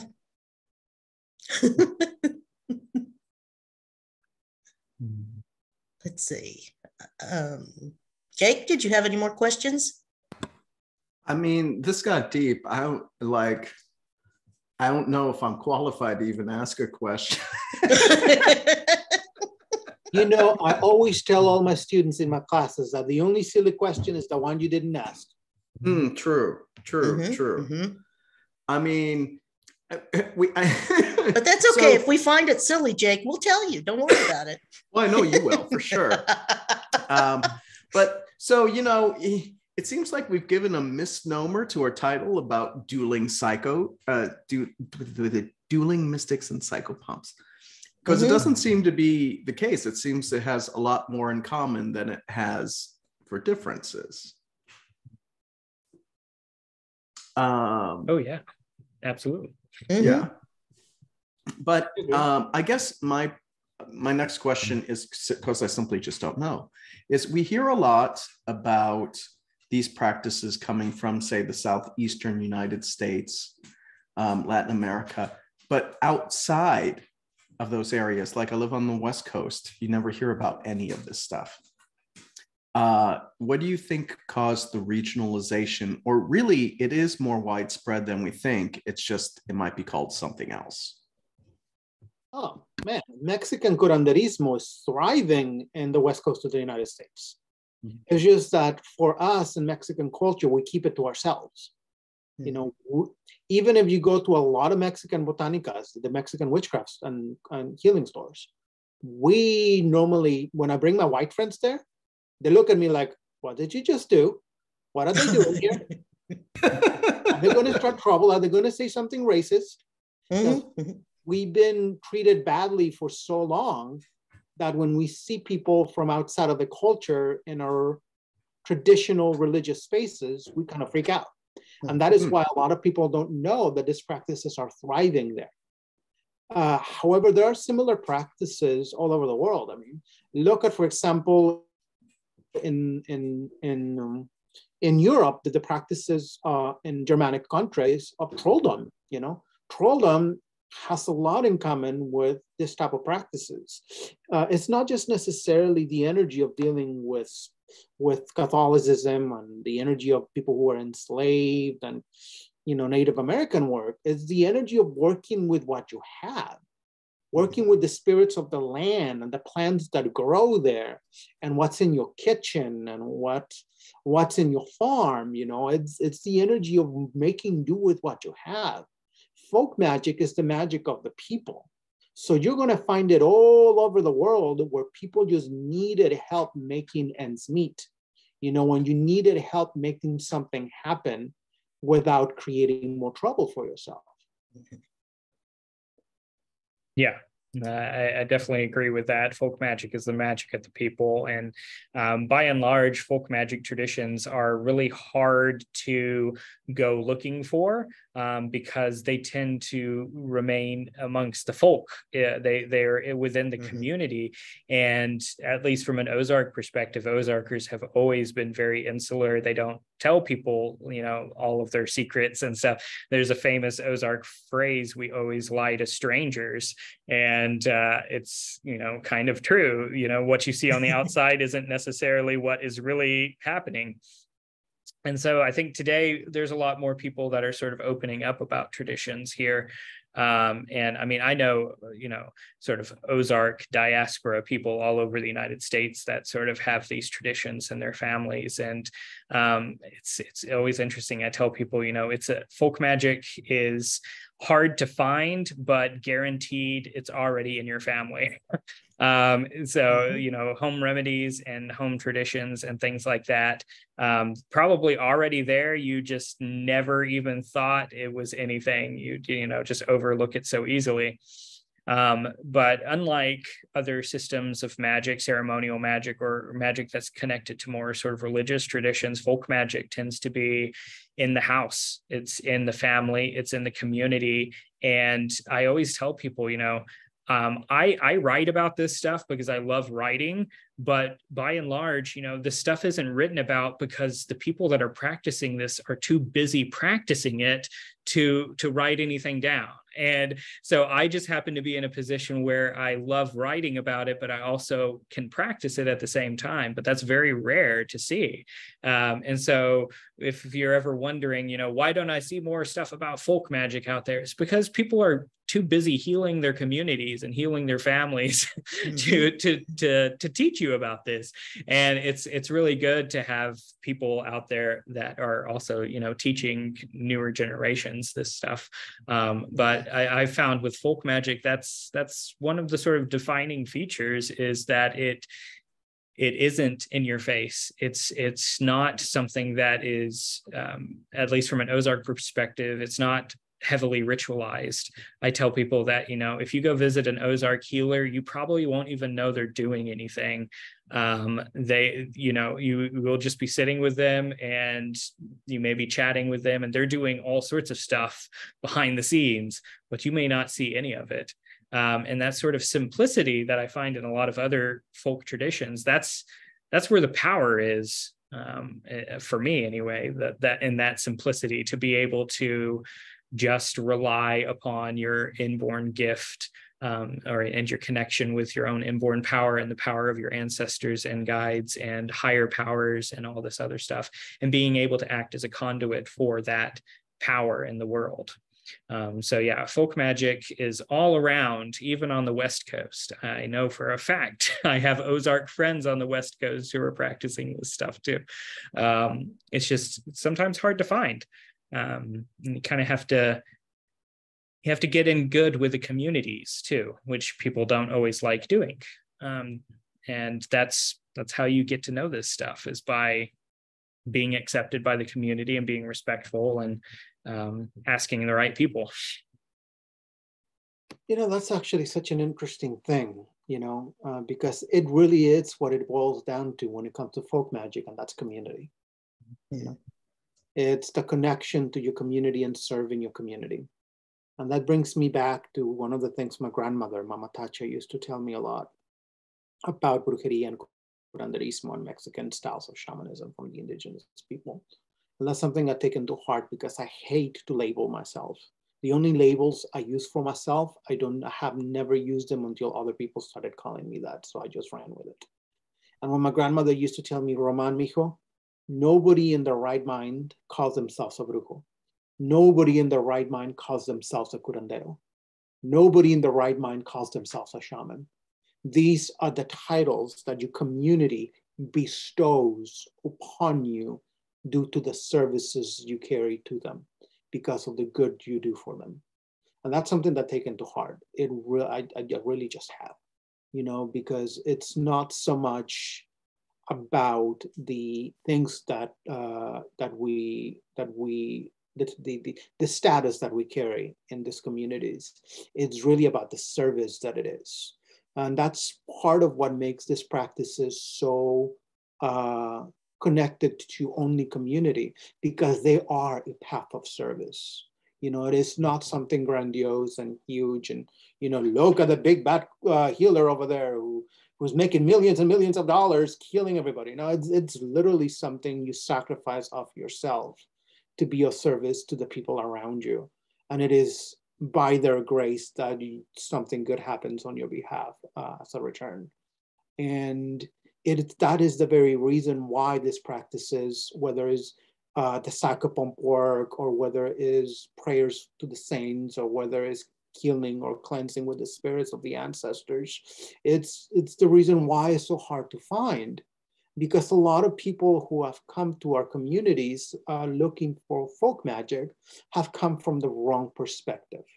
I don't know how it is for Brandon, but for me, I have lost count with how many people have come to me asking me to teach them about curanderismo and brujeria and all of them come most of them actually not all of them but most of them have come with the energy of teach me this powerful teaching that you have. I want to have this strength. I want to have this power. And as i told uh, uh, wendy before you know mm-hmm. is i asked them why do you feel powerless? And they get, mm-hmm. excuse me i'm not powerless. I'm strong. I'm powerful. I can kick your butt right now. And i'm like only the truly powerless seek for power the way you're seeking it right now. Mm-hmm. In my entire life as an adult doing these practices, I've only encountered one student that came to me for the right reasons in my entire life. And I'm 42 years old.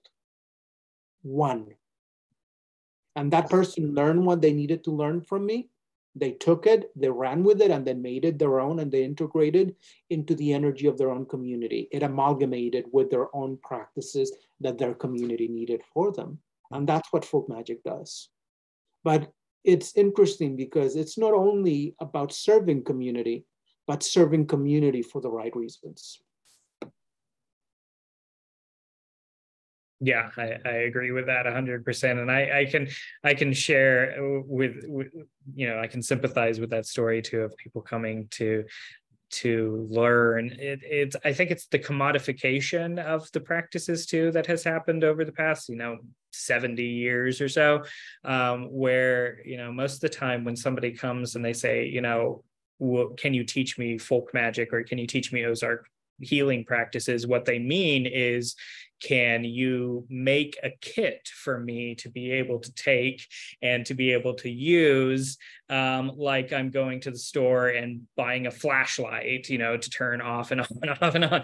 And uh, and, and that's just that's not how that's not how this works. You know traditionally in the ozarks the only people that learned this stuff or was past this stuff were people that were already identified as having been born with the gift um, so if you weren't born under the the omens and the auspices of these specific omens and auspices, you would never be destined to be a healer. And there were people within the community that specifically knew what to look for when babies were born. They were usually the midwives that were pulling the babies out. They mm-hmm. knew what to look for and they knew how to identify this. I take a little bit different approach. Um, I mean, it's based on the approach that my teachers kind of took as well that you know everybody is born with a different aptitude a different talent and so i think like you know you could be an expert painter but not know how to sculpt. And it's the same sort of way with this stuff is you know i don't take the approach that you have to be born with the xyz sort of things about but i think that you you have to have a, at least a talent for it. And i think that there is a talent for healing a talent for magical practices and for spirit work. And i think that what people are usually coming to me wanting is they're wanting a plan they're wanting uh, you know something uh, a sheet that they can follow and something will happen. And that unfortunately isn't the way that folk magic works all the time. Um, but f- from an Ozark perspective, all of this stuff always starts inside.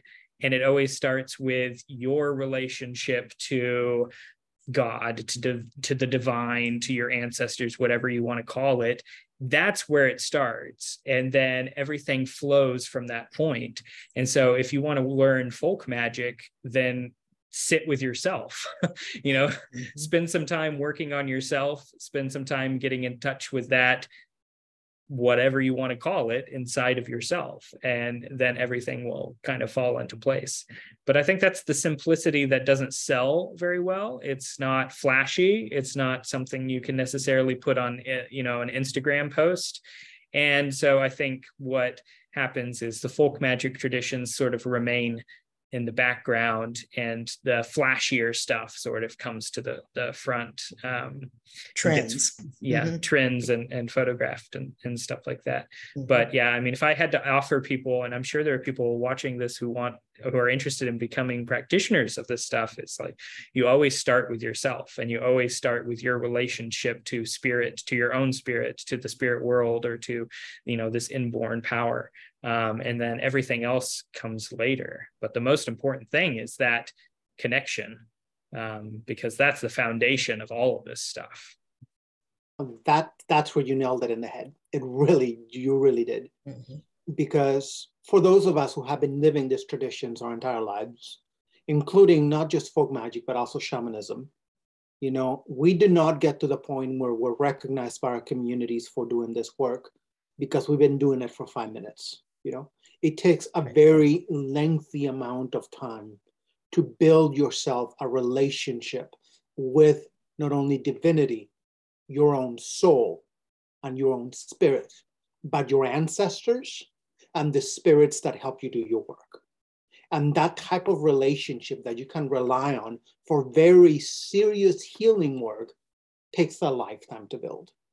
And most people who come out of novelty to folk magic or shamanism or any type of serious uh, indigenous healing practice. Most of them don't have the dedication or the patience to build such a lengthy and reliable and strong connection. They basically want a magic wand that they can they can wave around and fix something or just look cool, you know. They just want a, a, a drum to bang to say, oh, look, I'm a shaman, or a rattle to rattle and say, oh, look, I'm a shaman, or, or a candle to light, or some oil to rub on something and say, oh, look, I'm doing folk magic. And that's not the case, you know. The, mm-hmm. the, the candles and the oils and the roots and the plants, they carry their own spirit, their own power you know but if you don't have connection to divinity if you're not connected to god and to your own soul and your ancestors and the spirits that you work with you're missing at least a good at least a good half of the work because this, the, the, the items that we do our work with be it the rattle and drum of the shaman are just the tools that are the vehicle for our connections to spirit mm-hmm. and people nowadays really just don't want to make that connection mm-hmm. they don't you know they they have been so disillusioned with traditional religious institutions that they believe that everything that is religious is evil and oppressive where that's just not the case you know there is a place for divinity in the world and if you cannot understand that if you cannot embrace that, you're going to have a very difficult time being a, a professional or even just a community healer, let alone a professional. Mm-hmm. Yeah, as uh, that reminded me, one of my teachers gave me a phrase that has now become, I say it almost every class I teach is, and it's really the, the foundation of Ozark folk practice. She told me, I was talking to her one day about her tools and, you know, what types of spoons she used to stir her medicines and, and things like that. And she just mm-hmm. stopped me and she said, as a healer, you should be able to do everything you need to do in a completely empty jail cell and that has always sort of stuck in me this idea of you should be able to at the heart of this practice is the connection to that that divinity to that inborn spirit. That's where that power comes from. And so you should be able to do that no matter what you have around you.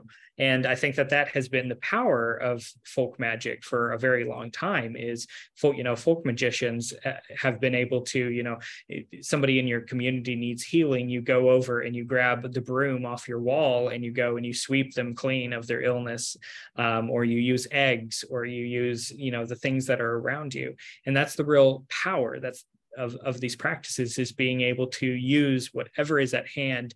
And if nothing is at hand, then you have your voice. And if you don't have your voice, you have your thoughts that can go out and can heal as well. And I think that that's one of the the power, the real heart of the power of folk magic. Um, and I think it's one of the things that isn't easily expressible to people that are just maybe looking for the stuff of folk magic. Mm-hmm. the the tools and the ingredients and things like that um, that connection to that whatever you want to call it that heart of the power um, I, I like to call it the flow uh, you know connecting to that flow um, that's hard to teach um, and that's where you know people have a talent to connect to that um, and but unfortunately it's not something that can necessarily be commodified and and, and sold that's why my grandmother, when I was a little boy, that's the first thing she taught me. She taught me how to pray. Mm-hmm. She sat me in her lap, and every day, every night before bed, I would pray the rosary with her. You know, and she always taught me, you know, don't mm-hmm. don't fall into the trap of the fa- of the of the trendy people. You know, don't go for the candles, don't go for the oils, don't go for the for for the herbs. If you have nothing else, you have God. Mm-hmm. Anyway, I think we have another question, don't we? We do. Um, see, I need to scoot that over a tad. Um, from Melissa, uh, for a complete neophyte, what beginner at home methods can be used for the spirituality, spiritually drained feeling some experience after paranormal investigations, despite uh, some basic pre-function protections? I'm going to start this one. Okay. Uh, uh, I think we did a, a, show about this, which is cleansing work, right? I think so. So mm-hmm. part of it, if you want to learn my way, go back into mm-hmm. the archives and, and, and look at the Mystic Moon Cafe radio show that we did on spiritual cleansing. Mm-hmm. But the number one thing that I do after doing this kind of work is cleansing my energy, making sure that my energy is nice and clean, and that I am disconnected from the places and entities that I've been working with, that I come back to come back to normal. Uh, if you want to do that very easily, take a detox bath.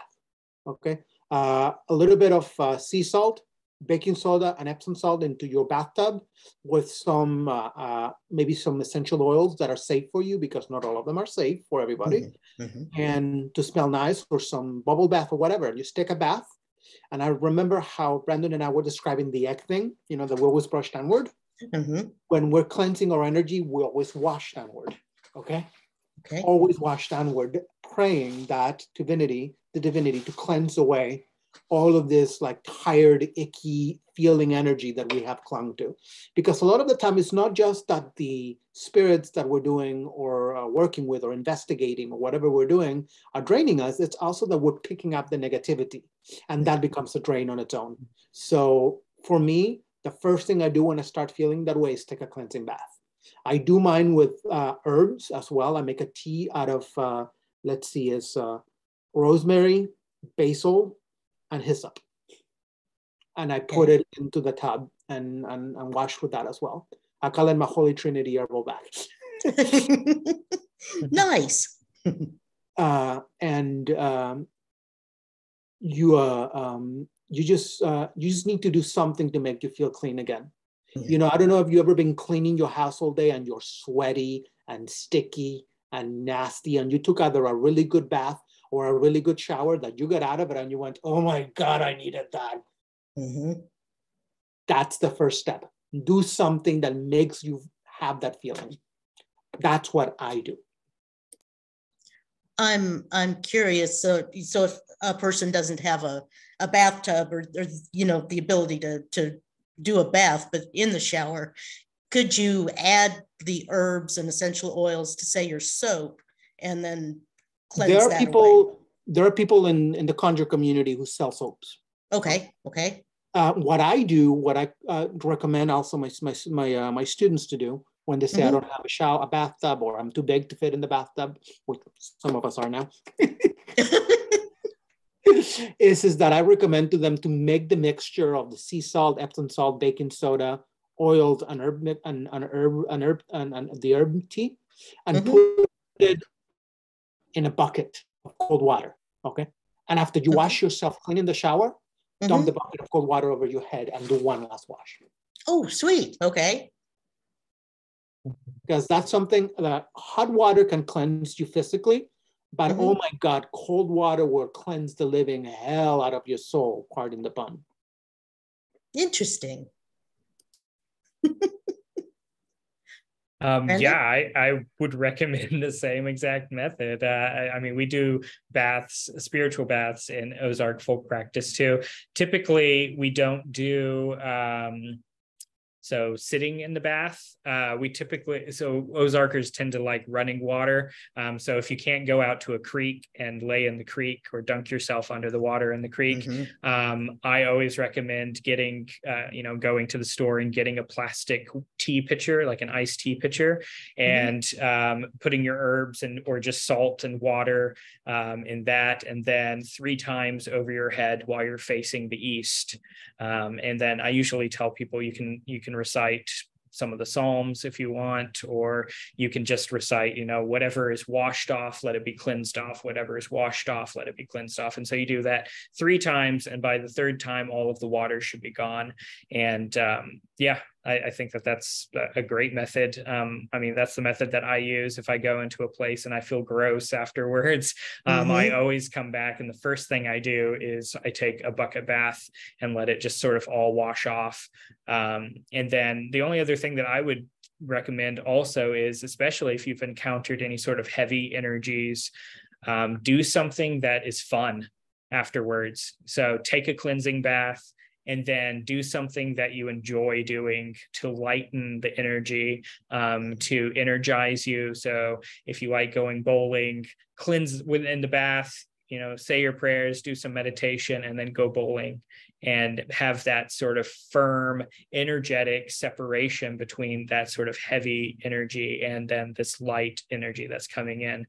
Um, but yeah, I always recommend cleansing baths uh, on a weekly basis, daily basis, even if you're not mm-hmm. going to haunted places, just the energies that you pick up being in the world, um, having uh, a weekly cleansing ceremony sort of uh, on a schedule is uh, always nice, I think. That's good maintenance. Yeah. Mm-hmm. And another thing with the cleansing baths, I don't know how it's in Ozark Magic, but in Curanderismo and in Conjure both, uh, we air dry. We never mm-hmm. towel dry. We'll always, I always tell my clients, you know, when you do cleansing bath, um, mm-hmm. you can even put your bathrobe on if you want, you know, so you don't catch a cold, but you mm-hmm. air dry. And it's interesting talking about doing something fun. Uh, there's this tradition in Japanese Shinto, uh, in Shintoism, when the, there's this village in Japan, and you'll, you Google it and you'll see it, uh, where the, people there on the day of the Lunar New Year every year, the entire clan gets together and they force themselves to laugh so much that they feel so silly that they start laughing for real. And that's the way they banish all of the horrible things that have happened the year before. So there's a lot of power in laughter. So that's another thing to do when you feel the negativity seeping in from your day of work as a spiritual person. Watch a funny movie on TV mm-hmm. and mm-hmm. just laugh your ass off. And you'll be surprised how healing that can be. That's why our shows are so fun. We, we keep the laughter going. And, yeah. and that helps raise spirits, I think. And I don't yeah. know why I've disappeared. You've blended into the background. yeah. You've become a ghost. Ooh, not yet. Um, just uh, this reminded me talking about cleanses specifically for like spirits and stuff like that. Um, in the Ozarks, there's one plant that is very traditionally used in the Ozarks for detaching spiritual influences through bathing. Um, and so it's never burned as a smoke, it's always mixed with water and used. And it's one that you can grow really easily in most places in the country. So the, the genus is Monarda, M O N a R D A, um, but some people know it by lemon bee balm or crimson bee balm. It's a it's a really good pollinator plant, um, and there's I think 20, 30 different varieties. I really like uh, wild bergamot or lemon bee balm. Both of those are really good. And these grow native here in the Ozarks. They, they mm-hmm. grow all over the place. They're called horse mint here. Um, and this plant in particular, for whatever reason, has traditionally been used in baths for detaching spiritual influences. So traditionally, um, and I've met some old timers that still swear by this, if they go to the, the cemetery for anything, if you're going to visit grave sites or whatever, when you get home, you always take a bath with Monarda, with horse mint, um, mm-hmm. so that anything that you brought back would be detached from you then. Um, but you can even mix up this as a tea and use it in a house um, to detach spiritual influences. So you can wash the walls or the doorways or the mirrors um, or the floors with with horse mint. Um, so yeah, if you are somebody that has a green thumb and likes growing plants, look into the Monardas. You can buy the seeds really easily, and um, it makes a really good spiritual cleansing bath. Nice, very nice would do those come back every year or mm-hmm. is that a yeah, oh yeah okay and they mm-hmm. they spread every year they're in the mint mm-hmm. family so that, that's um, what i um, thought so yeah and that yeah. definitely comes back so yeah in my yard i have a nice little sunny spot by a fence and so i have a big patch of wild bergamot that i just let take over and then you know i use it in baths a lot mm-hmm. Mm-hmm. wendy yes i think our time is running low I think our time is running low. I and if if you want, you can send good thoughts. I've I've got to give the my one little client oh, doggy. Oh, yeah. Um, she's got uh, epilepsy, and she just recently mm. had to go on to the the lithium because oh. the frequency is is increasing. And she just came over to tell me that it's almost nine o'clock, and mm. and it's time. It was wonderful so, chatting with you. Oh, it's been yeah, fantastic. Likewise. Yeah. Very fun. Very fun. Mm-hmm. Thank you for coming on. Mm-hmm. Uh, so, Wendy, we first off, Roman, Brandon, if people want to get a hold of you, mm. what's the best way to do that? My website, www.teotltonali, teotltonali.com, mm-hmm. has a contact me form that goes straight to my phone. Just make sure you write your uh, email address so I can talk to you back properly. Mm-hmm. Because I get way too many people that misspell their own email addresses, and now I can talk to them when they send me messages. Yeah, and I have a website, ozarkhealing.com, um, O Z A R K healing.com. And I also have a contact form on there. And yes, please spell your email address correctly, because that's also something I deal with a lot. Uh, because we want to get back in touch with you. And uh, if you don't put your email address in there, we can't. So, yeah. Mm-hmm. Okay. Okay. All right, guys. Like I said, this has been wonderful. Thank you so much. Thank you. And I hope you come back and do this some more. Mm-hmm. Absolutely. Sounds fantastic. Mm-hmm. Mm-hmm. Okay. Well, thanks, folks. Um, I, you know, this was a special occasion, Mystic Moon. I'm not sure the next time we're going going to uh, have another live episode for you, but uh, yes. we will keep you informed if we do. And I will have this up on uh, YouTube and our Spreaker podcast. Uh, you can find it anywhere, in Mystic Moon Cafe and you can watch the watch or listen to the to the replay so guys once again thank you. Um, hope you all have a wonderful summer and continue on with your classes and and the, the ones you're teaching not you know and and we're always learning it. So that's a good thing as well. And all right well i guess that's it then. All right. Well thanks for tuning in folks. Take care. All right. Good night. Bye-bye. Bye. Yay! We're off screen. Yay! Thank you. Yay!